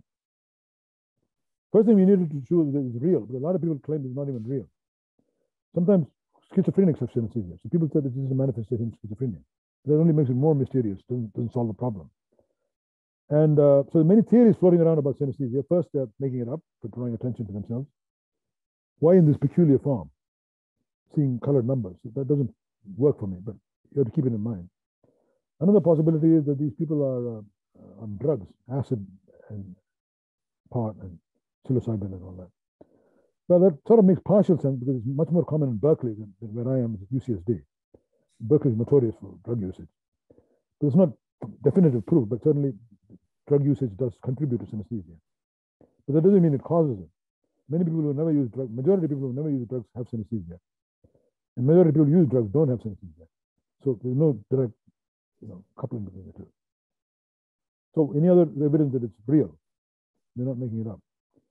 We needed the, the actual actual critical test. These are all tangential lines of evidence. You needed a critical test. We invented such a test, which is simply to use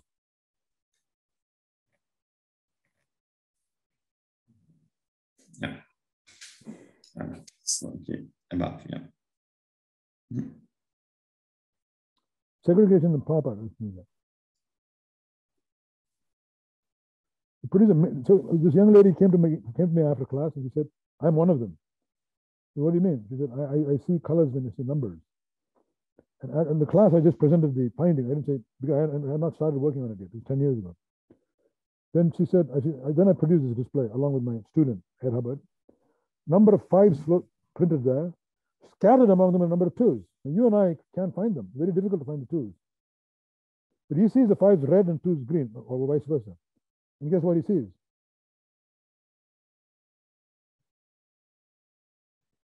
Oh, I see an upside down red triangle. I mean, a forest of green trees. He does it at three times the speed as you and I. You and I have to do it by scrutiny. Yeah, that's that's two. That's fine. Two, that's fine. And then construct it in your mind. He sees it effortlessly and three times the speed, which means he and he said what he tells you. I see it. I don't think about it. I see it, just like I see any green grass. Tells you it's a real phenomenon. So it's the first clinical test for synesthesia. You think of it like that. A very simple test. Then we found, unfortunately, it's not true of all of them. Only a third of them, or only about no, sorry, only 20% of them show this pop-out segregation test. Many of them just say, "Well, what do you mean? Do I see it? Of course, I don't see it. I, you know, it, it looks black, but I, it, I have the irresistible urge to see it as red. Or it makes me think of red. I don't literally see it. So you've got two types of synesthesia: the projectors, I actually see it, and the uh, associators, who have an irresistible urge to see it, to to think of it. So first, I thought I'd study the associators because they seem interesting. So I caught hold of them and I said, when you, when you say you see red when you say five, but you say you don't actually see it, what do you mean? Is it like Cinderella? When you think of Cinderella, you think of a pumpkin. You think immediately you think of a chariot. Immediately you think of mice. Is it like that? No, no, no, no, no. Of course not. That's that's just memory. Actually, I, I see it, but I'm not in the manner you're saying. Like as though you painted on it. I can tell the difference, but I do see it much more intense than Cinderella. Of course, it's important if you're a physician or if you're, or if you're a scientist to make observations before you do experiments, especially in neurology. Talk to the patient first. 90% of the time, he will give you the diagnosis.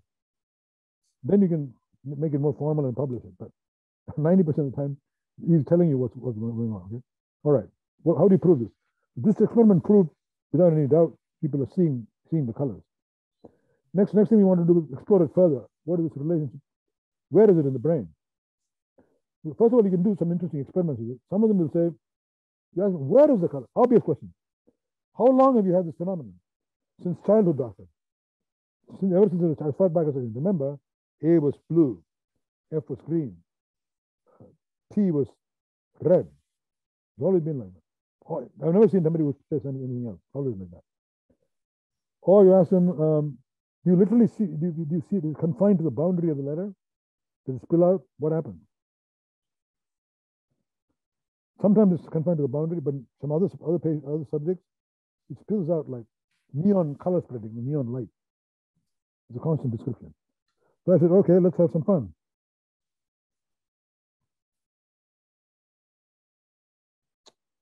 Yeah.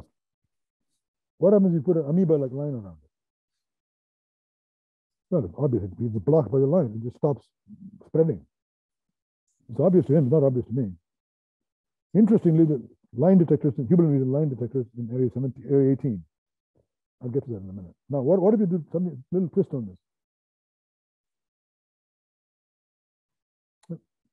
Where do you do that? Uh, you go a little bit to the right to this arrow. Yeah, that's correct. Yes, yes, yes. Okay. Now I want to go to the next. Okay. Put illusory contours. See those four black ears, Mickey Mouse ears? There's no real line around them. There's a blue blue stuff inside. But forget the blue stuff. You just put illusory. The illusory line will also contain inside the illusory square. The previous experiment I showed, you, if you have a real square and you put A, the, the radiation of the of the neon spreading stops at the boundary. Boundaries are vital in, in vision. You'll see. Object. What do you mean by an object? In physics, there's no object. Uh, to put it crudely, but the Eddington's table, right? But in fact, your, your eye that parcels these things you can grasp, put in your mouth, hit, whatever. Objects are vital for vision. And the visual system knows that. So it's very, very, very interested in boundary, including illusory boundary. Put an illusory boundary, stops it from going. And in fact, the leakage is more pronounced for the real line than for the illusory line. Put an illusory square like that, it blocks it perfectly. If you put a real line, it has slight hesitation and sometimes it leaks on. Why, why is that? And I thought about this for a while. I want you guys to answer it during discussion. We'll come back. Why is an illusory line, by which I mean an implied line, you have four black discs when you cut out segments, making an implied square, more effective in blocking the neon spreading than an actual line drawn there, which is in some sense more powerful. Okay, why is that?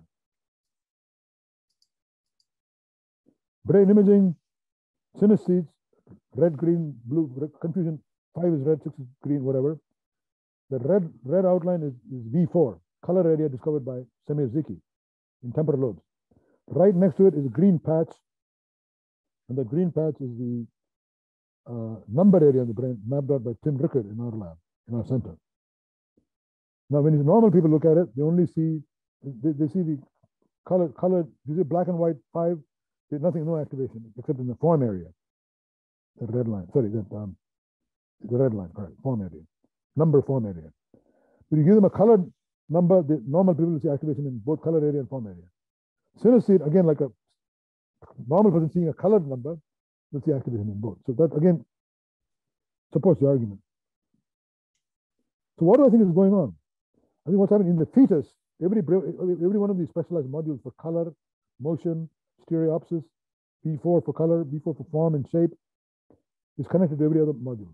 There's tremendous redundancy of connections in the fetus, in the early embryo, in the fetus, maybe early infancy. Then there's trimming genes, pruning genes which come along and prune away the excess connections, creating the classical modular architecture of the adult brain. So that color and, and, and form are clearly segregated. But in these, in these subjects, in synesthesia, one in 50 people, this pruning doesn't occur. and the segregation doesn't occur. Why? Because there's mutation in the pruning gene. But why do one, one in 50 people have it? It's a useless gene. It would have been eliminated. I wish Simon were here. Been eliminated by evolution a long time ago.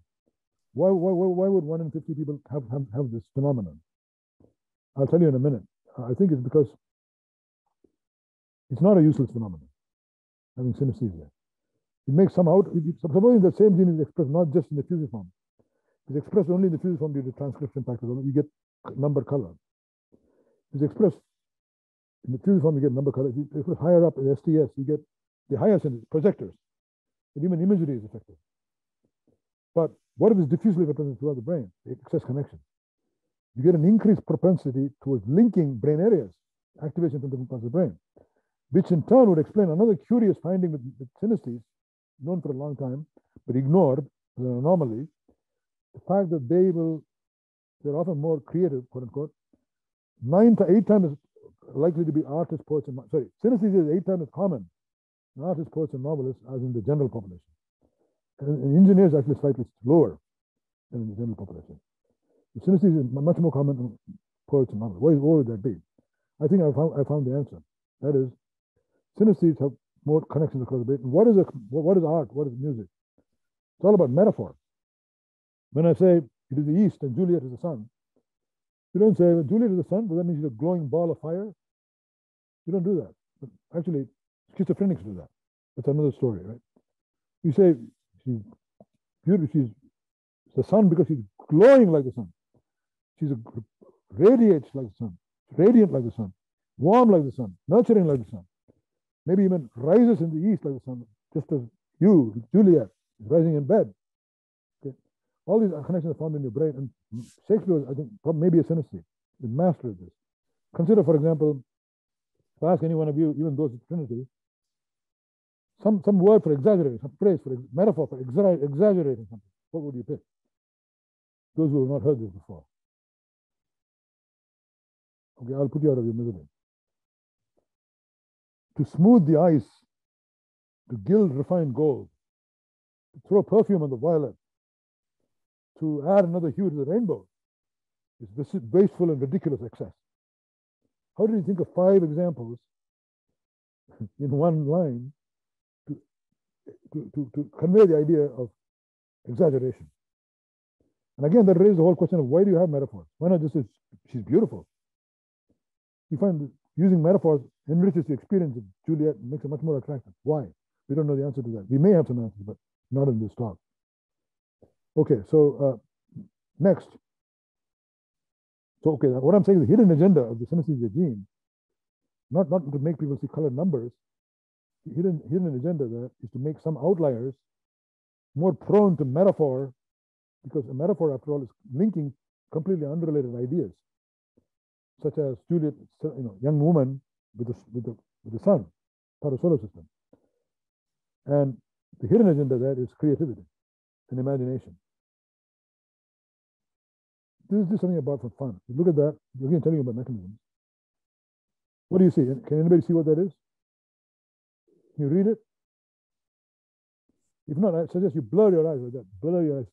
You just, just see a blurred image of it. Easier to read. Can you now start reading it? So it says, yes, what do you read it, please? Yes. Yeah. Can you read it? Read it out loud. No sex, Causes bad eyes. Causes bad eyes. There you go.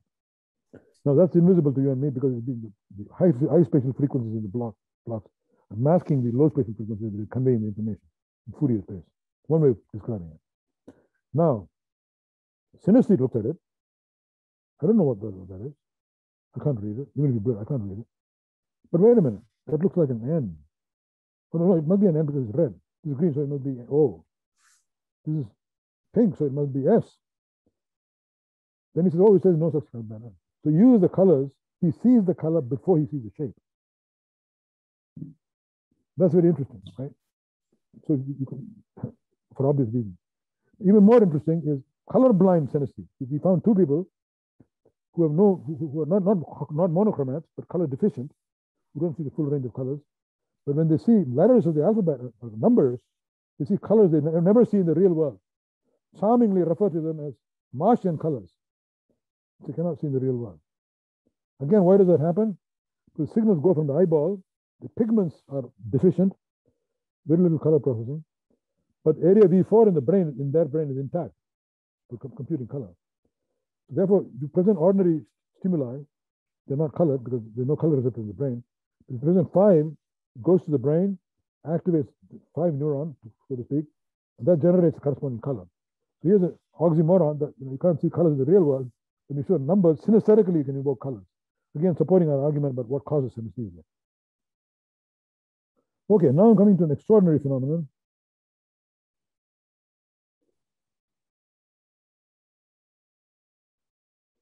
Uh, I think I'll skip this, but very briefly, Galton, in the same subject, often in different subjects, noticed that they have a tendency to see number lines or number forms. That is, every number, particular location, not a particular color, but a particular location in space.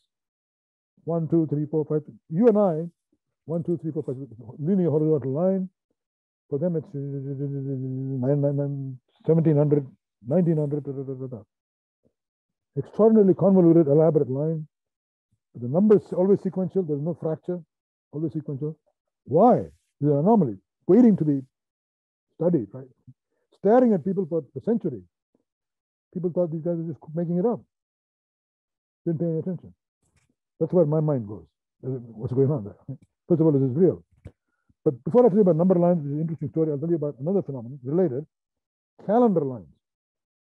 If I ask any one of you, describe a calendar, conjure up a calendar for this year, for next year for me, or any year for that matter. And tell me, name the number, show me where the months are. January, February, March, April, May, June, July, August, September, October, November, December. That's what they do 70, 80% of the time. Another 20%, another 10% will do hula hoop. January, February, March, July, August, September, October, December, January. Hula hoop around their waist. Any one of you have, have this phenomenon? Visualizing days of the week? Anybody here, an audience? No. It's not, it's not rare. One in 50 people has this. First thing that struck me was right-handed people, left-handed people, the sequence of months is different. It's the opposite. Already telling me they're not some mumbo jumbo. Why do they all get the same phenomenon? Something interesting going on here. What is what's going on? First, show it's real. Before you embark on a two-year study, don't spend one hour showing it's real. How did we show it's real in one hour or ten minutes? Here's a guy who claims he can actually see the calendar. You and I, if I start thinking of a calendar, you see something vague in front of you. At least I do. January, February, March, April, May, June. It's a vertical, right? Ramp, left, right, left, right, left, right. Do you see that, or what do you, do you see something different? Either of you. If you visualize a calendar, what do you see? You see January on top left and December on top right, bottom right? Or is it a whole hula hoop? What is it? Or nothing? Amorphous. Any comment? Yes, yes, yes, yes. What do you see? Uh, uh, how, how do you mean? The Like when you imagine a calendar in front of you, yes, what do you see? What is the shape of that calendar? a calendar.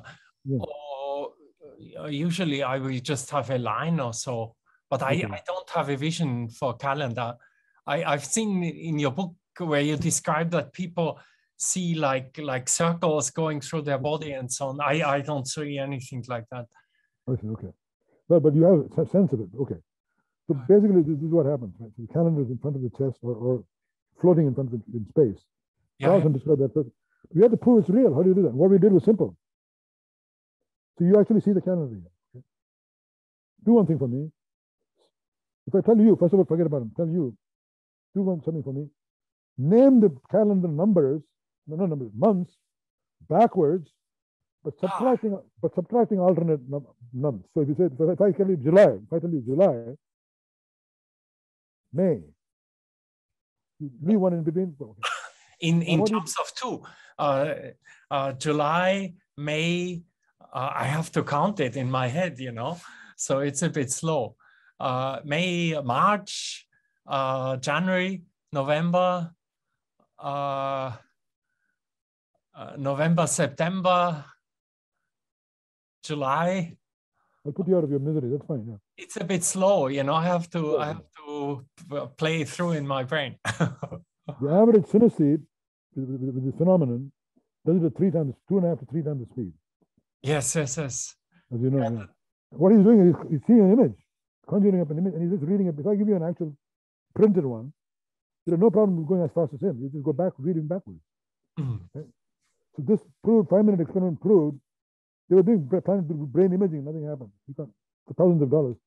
Five you can show that it's a real phenomenon. That you can show. And now question is where is it happening in the brain?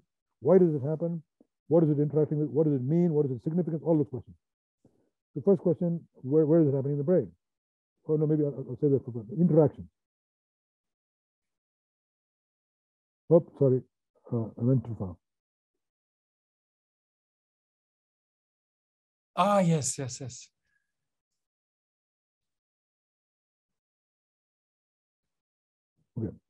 Where does it happen in the brain? Before that, interaction. So you guys claiming he's seeing the lines, right? So my question was very simple. My question was, do these lines exist? Where are they? Where are these lines? Are they in outer space? Are they in your brain neural, neural activation? In the sensory pathways, given how vivid they are? Or maybe high level computational, conceptual concept of calendars like you and I? Yeah. You have to show that. How do you show that? So what we did was we simply the guy, the lady who had this vertical calendar, vertical test tube. She said it looked like a test tube.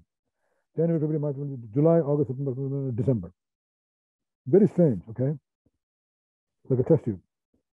I said, okay, let's do the following. I had a bunch of stripes on the screen, sine wave gratings for those of you from Trinity. So you get sine wave gratings on the screen, and then you tilt them, tilt the sine wave grating for 45 degrees or 30 degrees. And you put one vertical line on top of them. You know what happens? Vertical line tilts in the opposite direction. They're both parallel. If you tilt the background stripe for 30 degrees to the right, clockwise, the central target line tilts counterclockwise, called tilt contrast. Ah, And is known to have tilt contrast, tilt contrast.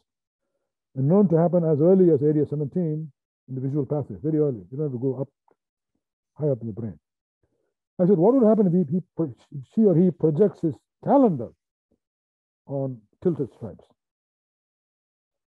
Lo and behold, the calendar tilts 45 degrees. So it's behaving like a real line. Even more intriguing, what if the, person who sees four test tubes or two test tubes, four lines, made up of four lines? I said, I want you to look at this grating. Great. She looks at this grating. She said, oh my God, I see some swirls. What swirls?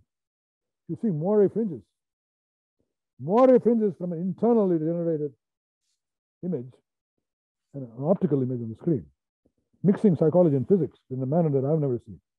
How can you how can you take moire fringes? If, if you imagine moire fringes and I give you stripes, there's no way you're going to see those swirling things on, on the screen. It's impossible. What this is telling you is in these people, the connections are much more elaborate, convoluted, much more extensive, so that the sensory areas are indeed producing almost like a replica of the activation that will be produced by real actual stimulus in the external world, using this back back connection going backwards. Okay. Let's go back again to the um, to the circle. The circle will, will have February, March, and all that mark, demarcated. And sometimes what it does is, at least one or two studies we've seen, it goes behind them. You said, sir, July, August, September alone are behind my back. How do you know? Well, it's obviously behind me. Everything else is in front. That's not visible behind my back. But why don't you take a look at it? No, I can't. It's just of way behind. I said, just try. Do that. Uh, and I push ahead, push ahead, like that. Be careful not to break her head. Oh, yeah, just barely visible. Oh, I can see it, doctor. My God, I see. I can see it. I can see the numbers. I can see everything. I can see the calendar. What was it doing? That this is like another anomaly, right? This one I've not tackled. I don't know what's going on yet. I've seen it in two or three people. Next, here's another lady. With this I'm almost finished. Right? There's another lady who sees the test tube, like thing, it's actually ribbon. So the lady sees a long vertical ribbon coming down, coming up in parallel, dangling in front of her. That's her calendar. The horizontally marked lines, she, she sees, she lines up, she, she marks it with an internal line, no actual lines there. January, February, March. The font is seen. January, February, March. Font. It has to be right font. She sees the font, she sees the, the orientation, she sees the size, everything of this of this of the number line, of this calendar line. Okay? I then say, well, let's let's look, look at take, look, look at it more carefully. Now, this is something that people have been reluctant to do in psychology, perception, for a long time, since the time of Helmholtz. The last 30 years, it's all about gratings and thresholds. I don't know why. I mean, I, mean, I, shouldn't say that. There's some interesting results to come out of it, but by and large, perception is forgotten. I think we and others are trying to revive it, especially my mentor, Richard Gregory. I don't know how many you know Richard Gregory. He was one of my many teachers, along with Al Braddick and others. But, and, and he got, lit the fire in me. So I started experimenting on perception. So, so, um, so this lady was seeing this, right? And I said, okay, let's go through one by one. January, February, March, April, May, June, July, August, September, October, no, no September, where's September? October? No, I can't read these things. It's sort of Martian looking. So the right side of this U, top of the right side, instead of showing October, November, December as you normally would, you start January here, we're showing some junk. They look like Martian letters. I can't quite tell what they are. Okay, I want to do one thing. Do you see anything else? Yeah, it's, it's twisted. The tape is twisted. Twisted? Then I realized you're seeing a Mobius strip. I said, no, can you go, go back? She said, that's why maybe I can't read it. Go back, go back. I said, what do you mean go back? Go back behind your calendar. It's floating in front of you. Why can't you go back? Well, I, have not tried that, but I'll do it. You know? Said, my God, yes, I'm able to do that. So go slowly enough. Oh my God, those numbers are all visible. They're actual actual days, days of the week.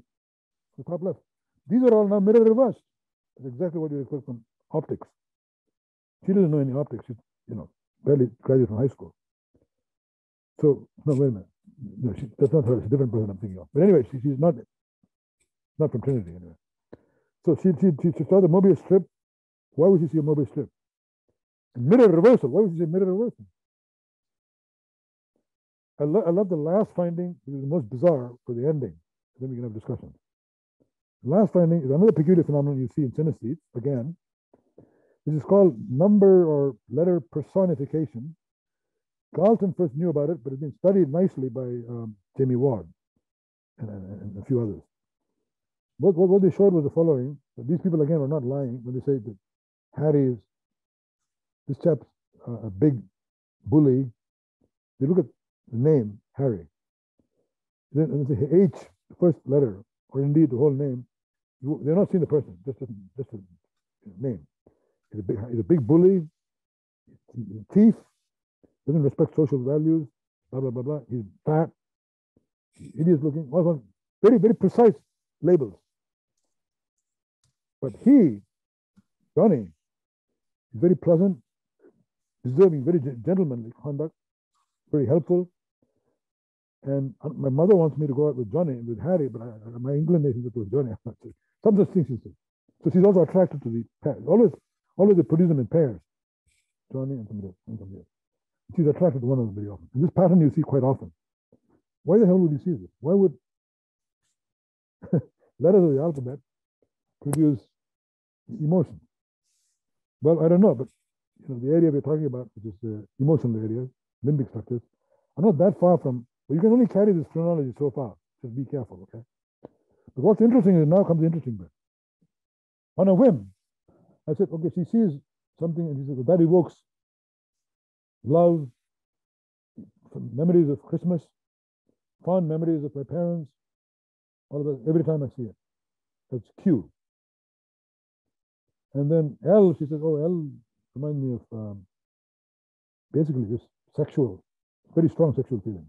And I look at the, the word L, lap or something like that. Lip. Maybe, maybe, maybe there is, and I'm starting to think maybe there is some connotation of eroticism. But she says, but now, I said, what if you put two numbers side by side? Interesting. Nobody has done this. Why, why would you do it? Right? You put two numbers side by side. They evoke either they fight the emotions, depending on what they are, or they evoke a blend. You've seen this with three or four obvious emotions. They're not studied extensively, but it, it's going to work. I think my instance is going to work. So the most striking thing was when, when they look at Joe, J O E, they see sexuality sexual attraction. When you see Charlie, is more agape, friendship, religion, spirituality. No, no, no erotic feeling. Put them together, she's on fire.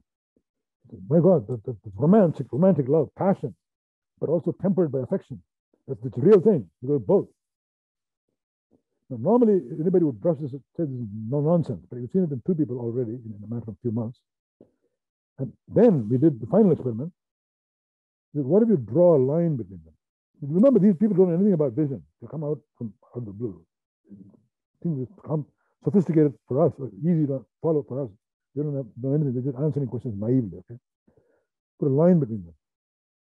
Oh my God! But they're, back to their own colors. They don't interact anymore. They're, their own colors and their own personalities. They stop interacting. Remove the blacking. Oh, they're interacting. Okay, so segmentation of the image, which I told you is vital in vision, is influencing this, this, this process of emotions being produced by uh, specific form, the shapes. Maybe a new new language, a new vocabulary of vision that we've stumbled on. But if you, if you put your finger there, in between the R and the Y, instead of thin line, no problem, effortlessly they interact. Why she was sliding behind the finger? It's Called amodal completion in, in, our, in our lingo, in vision, visual language. The brain says, what's the likelihood these pairs are unrelated? They must be going behind the finger. The line it could be a real obstacle. Maybe there's a line there, something standing there just stopping it. Across the line, they no never interact.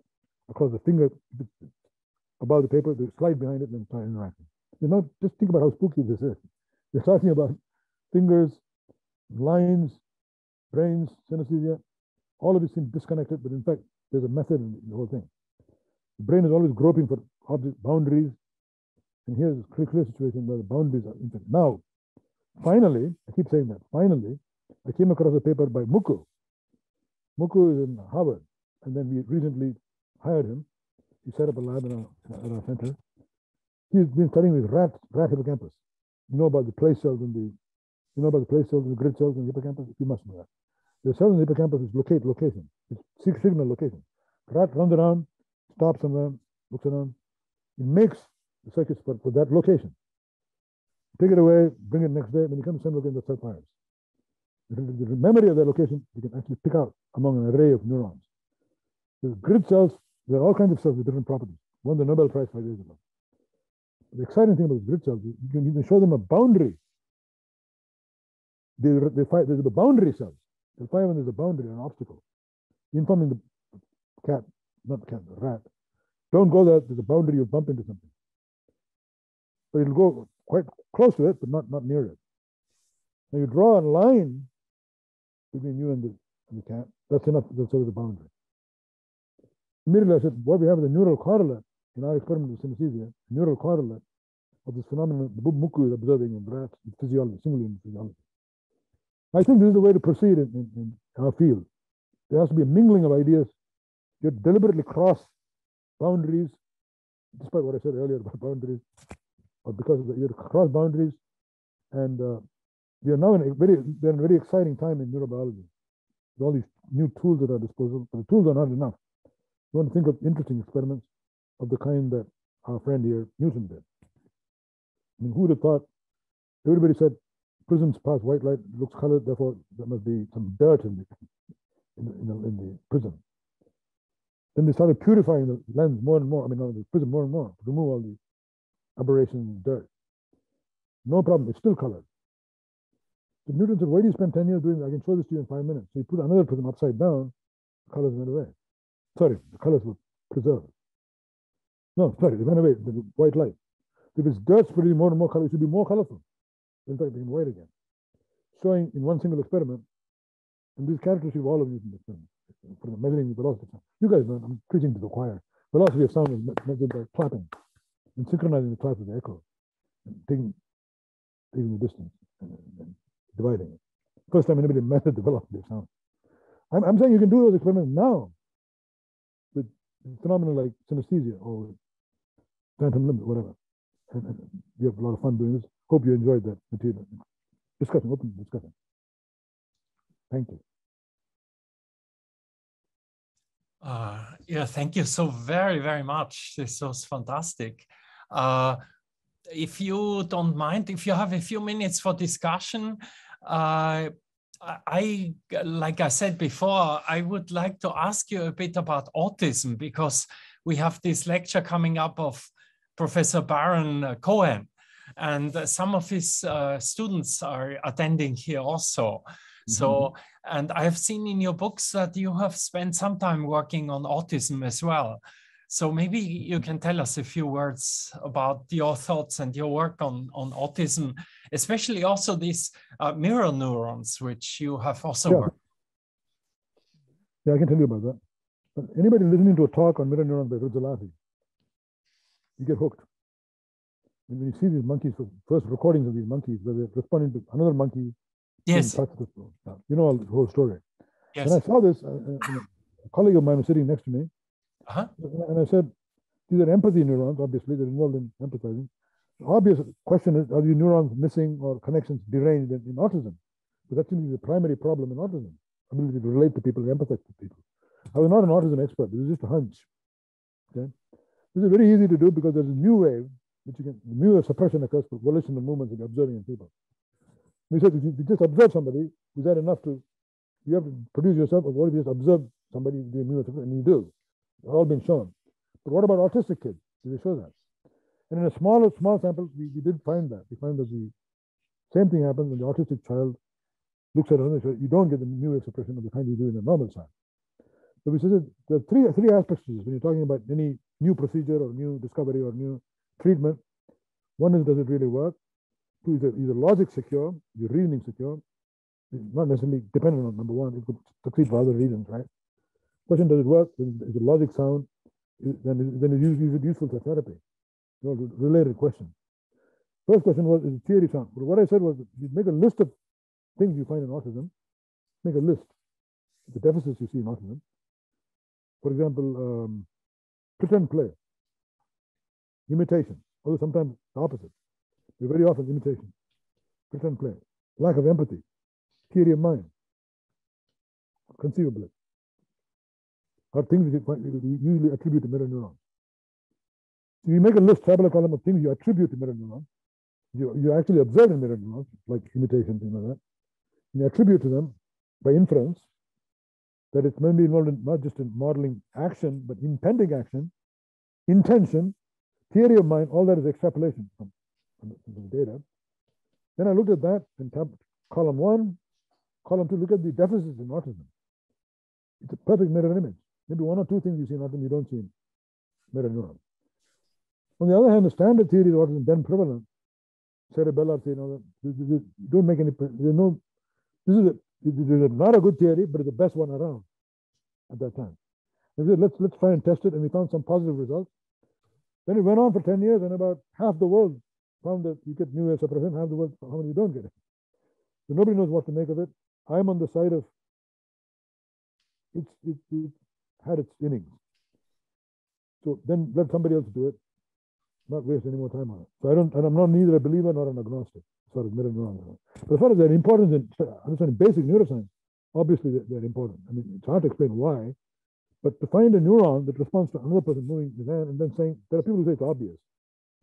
Obvious because Hebbian conditioning. Every time you touch something, the link between your action, your intention, and your, and your touch. So that impending action is then linked to the Hebbian learning to the, to the appearance of the, of, the, of the thing you're touching. That's why you get mirror neuron activity. Nothing, nothing explain about it. But that to me is a bit like saying, you know, you've discovered something, mechanism of stereopsis, say. Well, you know there are neurons in the brain doing it. Why do you want to know which neurons are doing it? I mean, the answer is obvious, but you can't waste your time explaining it. Right? I mean, what's the time in, in, in a haystack? You're going to find one, we pull out one thing and it does something as complicated as, as a mirror neuron is doing. Clearly, it's, it's functional and, and, something important, but if you autism, I'm, I'm, I'm, I'm agnostic. Yeah.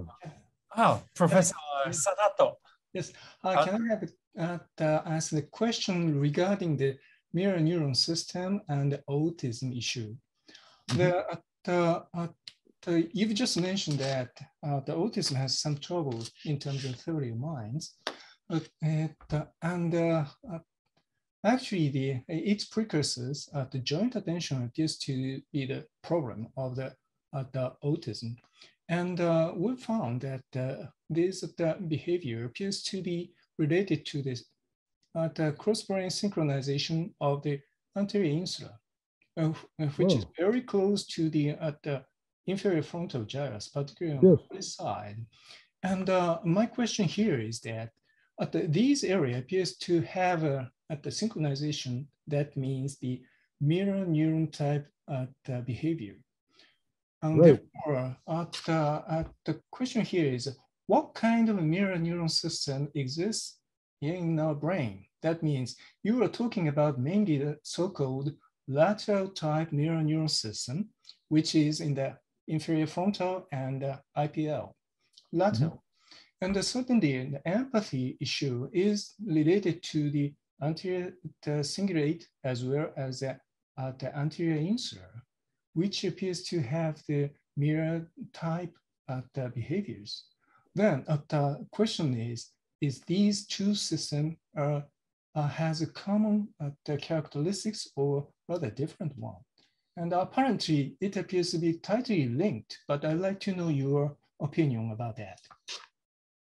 Well, I have to be honest with you, it's not literature that I'm very familiar with. I'll have to go and read up on it. And I, I want to do that anyway because I'm teaching a class right now on Mhm. similar to what, what you guys are doing. When I do that, I'll, I'll- reply to you. I- feel like I'm not adequately uh, familiar with the, with the topic. The different places where you find mirror neurons. The, the ones, yeah, the ones with facial expression I find especially interesting. Mhm, mhm, Ones which respond to your face smiling, but they also respond to their face smiling. Mhm. Right, with, with the same emo- same expression. Very interesting. And, and but anyway, you it doesn't address your questions, which I, I will address when I when I have a chance to read through the whole literature. But, uh, but the, uh, and this issue could be discussed in the next talk uh, to, with Yeah, uh, Baron Cohen. Simon, Simon Cohen. I'll be I'll be there. I'll be there. Oh, great. great. Thank you very much. Thank you. Thank you. Uh, uh, Tanya, do you have a question? Maybe on autism. Can you hear me? Yes, yes. Yes. Okay, great. Um, just first, I wanted to say I enjoyed your talk so much, even without the slides. Um, my husband is actually off screen listening because we're both big fans of your books. Uh, I have a lot of questions, but I think I'll focus on the one that just kind of blew my mind the most, which is this patient who had his arm amputated. And you say that you're particularly interested in these conditions that are anomalies. But I, I kind of think of the relationship between this with something that's more common, like body dysmorphic disorder. And I'm wondering if you know anything, perhaps that there's a, a similar underlying neurological mechanism, just, you know, at a, it exists on a spectrum with the voluntary arm amputation being an extreme example, but maybe body dysmorphic disorder being, you know, a much more milder version of the same you know, kind of underlying neurological cause. Very very good question.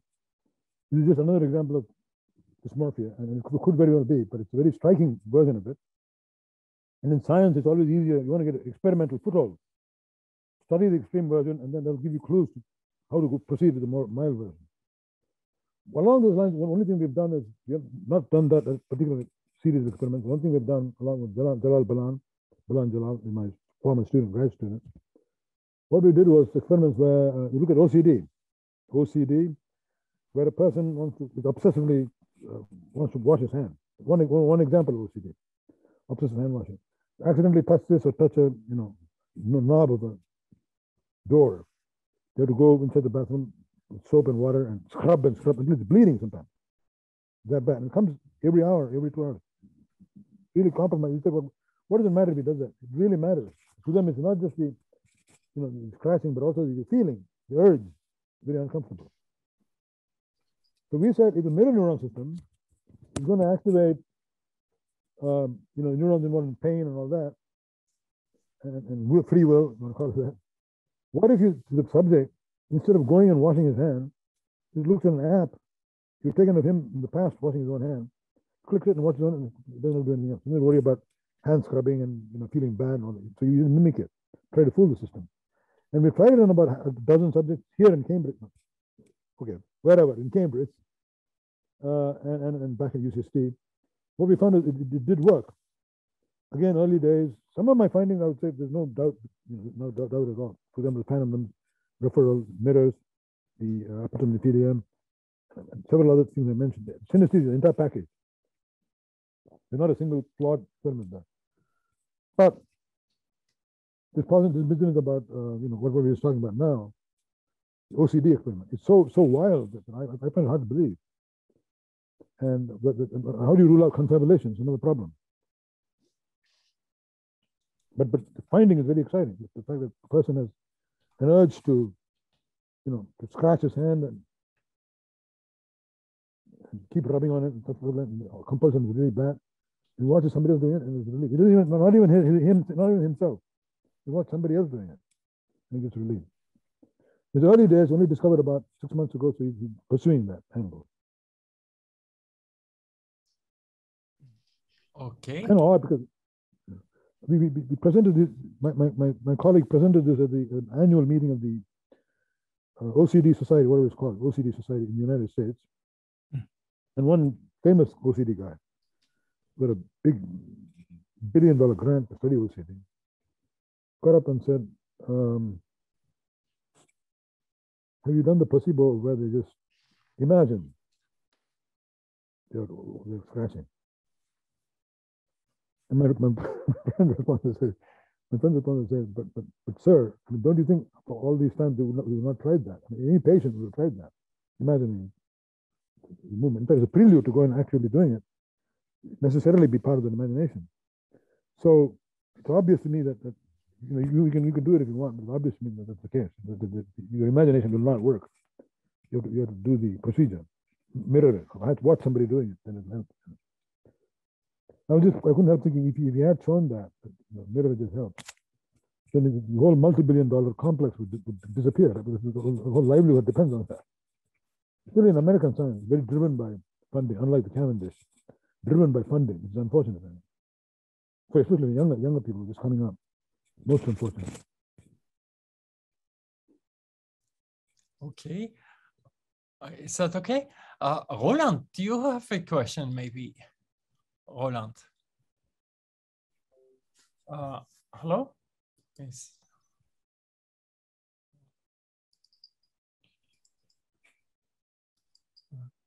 Hello, Roland? It's not here. Roland, are you here? No. Know, here is He doesn't res- reply. Doesn't seem to be here. it's my brother. He uh, uh is he here? No, uh, he's gone, disappeared. Uh, okay, so I think we uh, all had our uh, uh, Davide. Do you have a question, maybe, Davide? Uh, So it was very interesting. Uh, as, as mentioned, I'm connected from Europe, so it was a great uh, overview and a great discussion. Uh, I'm a bit tired, so I'd say for the moment, no questions on my side, right? Thank you. Thank you. Uh, yeah, I think it's like two or three in the morning in Europe. Thank you so very, very much, Professor Ramachandran. This was Thank you. uh, such a wonderful uh, talk, so deep. And uh, uh, I mean, brain is kind of central for us. We wouldn't be anything without brain. So it's it's the center of life.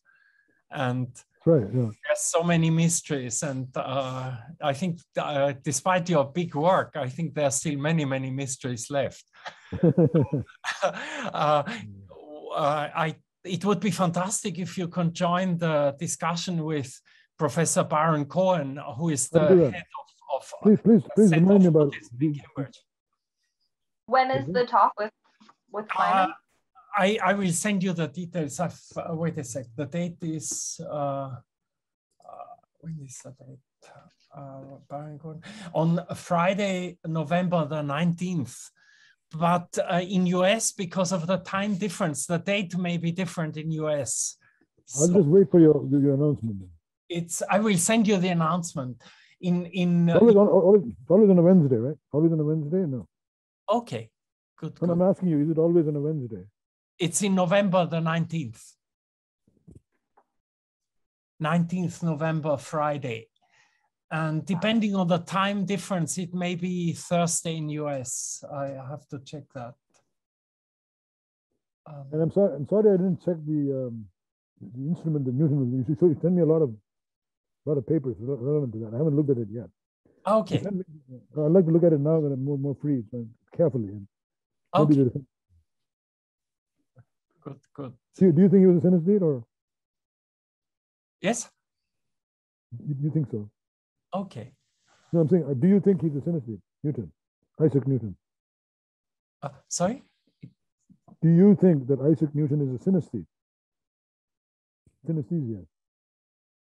Sorry, Ah. sound, sound. sound- Uh, if Isaac Newton had synesthesia, uh, Mm. I don't know. I have to. ch- I think you mentioned it in your book. I think, That's right. but uh, I I will check it out. I'm not sure. But he made a, he made an instrument, musical instrument for the Ah. first time, where the keys produces produce tones. Ah, okay. Colored, okay, the keys were colored, I multicolored. Each color produces a specific tone. So that that made me wonder if he had tone color synesthesia. ah, okay, okay. Uh, I didn't know. Well, thank you. Thank you Thank so very very much. This was very very fantastic. Thank you so very very much. Thank you.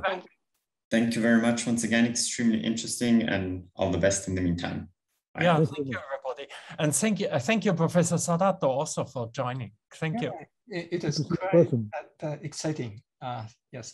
Yeah, I, I, I like to attend the at the next meeting also. And uh, and Dr. Faso, if it is possible, uh, the please send me the uh, the at the next meeting's invitation for me. Okay, I will do. I will do. Yes, very good. Very. Okay, thank you very much, everybody. Bye bye. Thank you. Bye. Bye bye. Bye. Bye. Bye. Bye bye.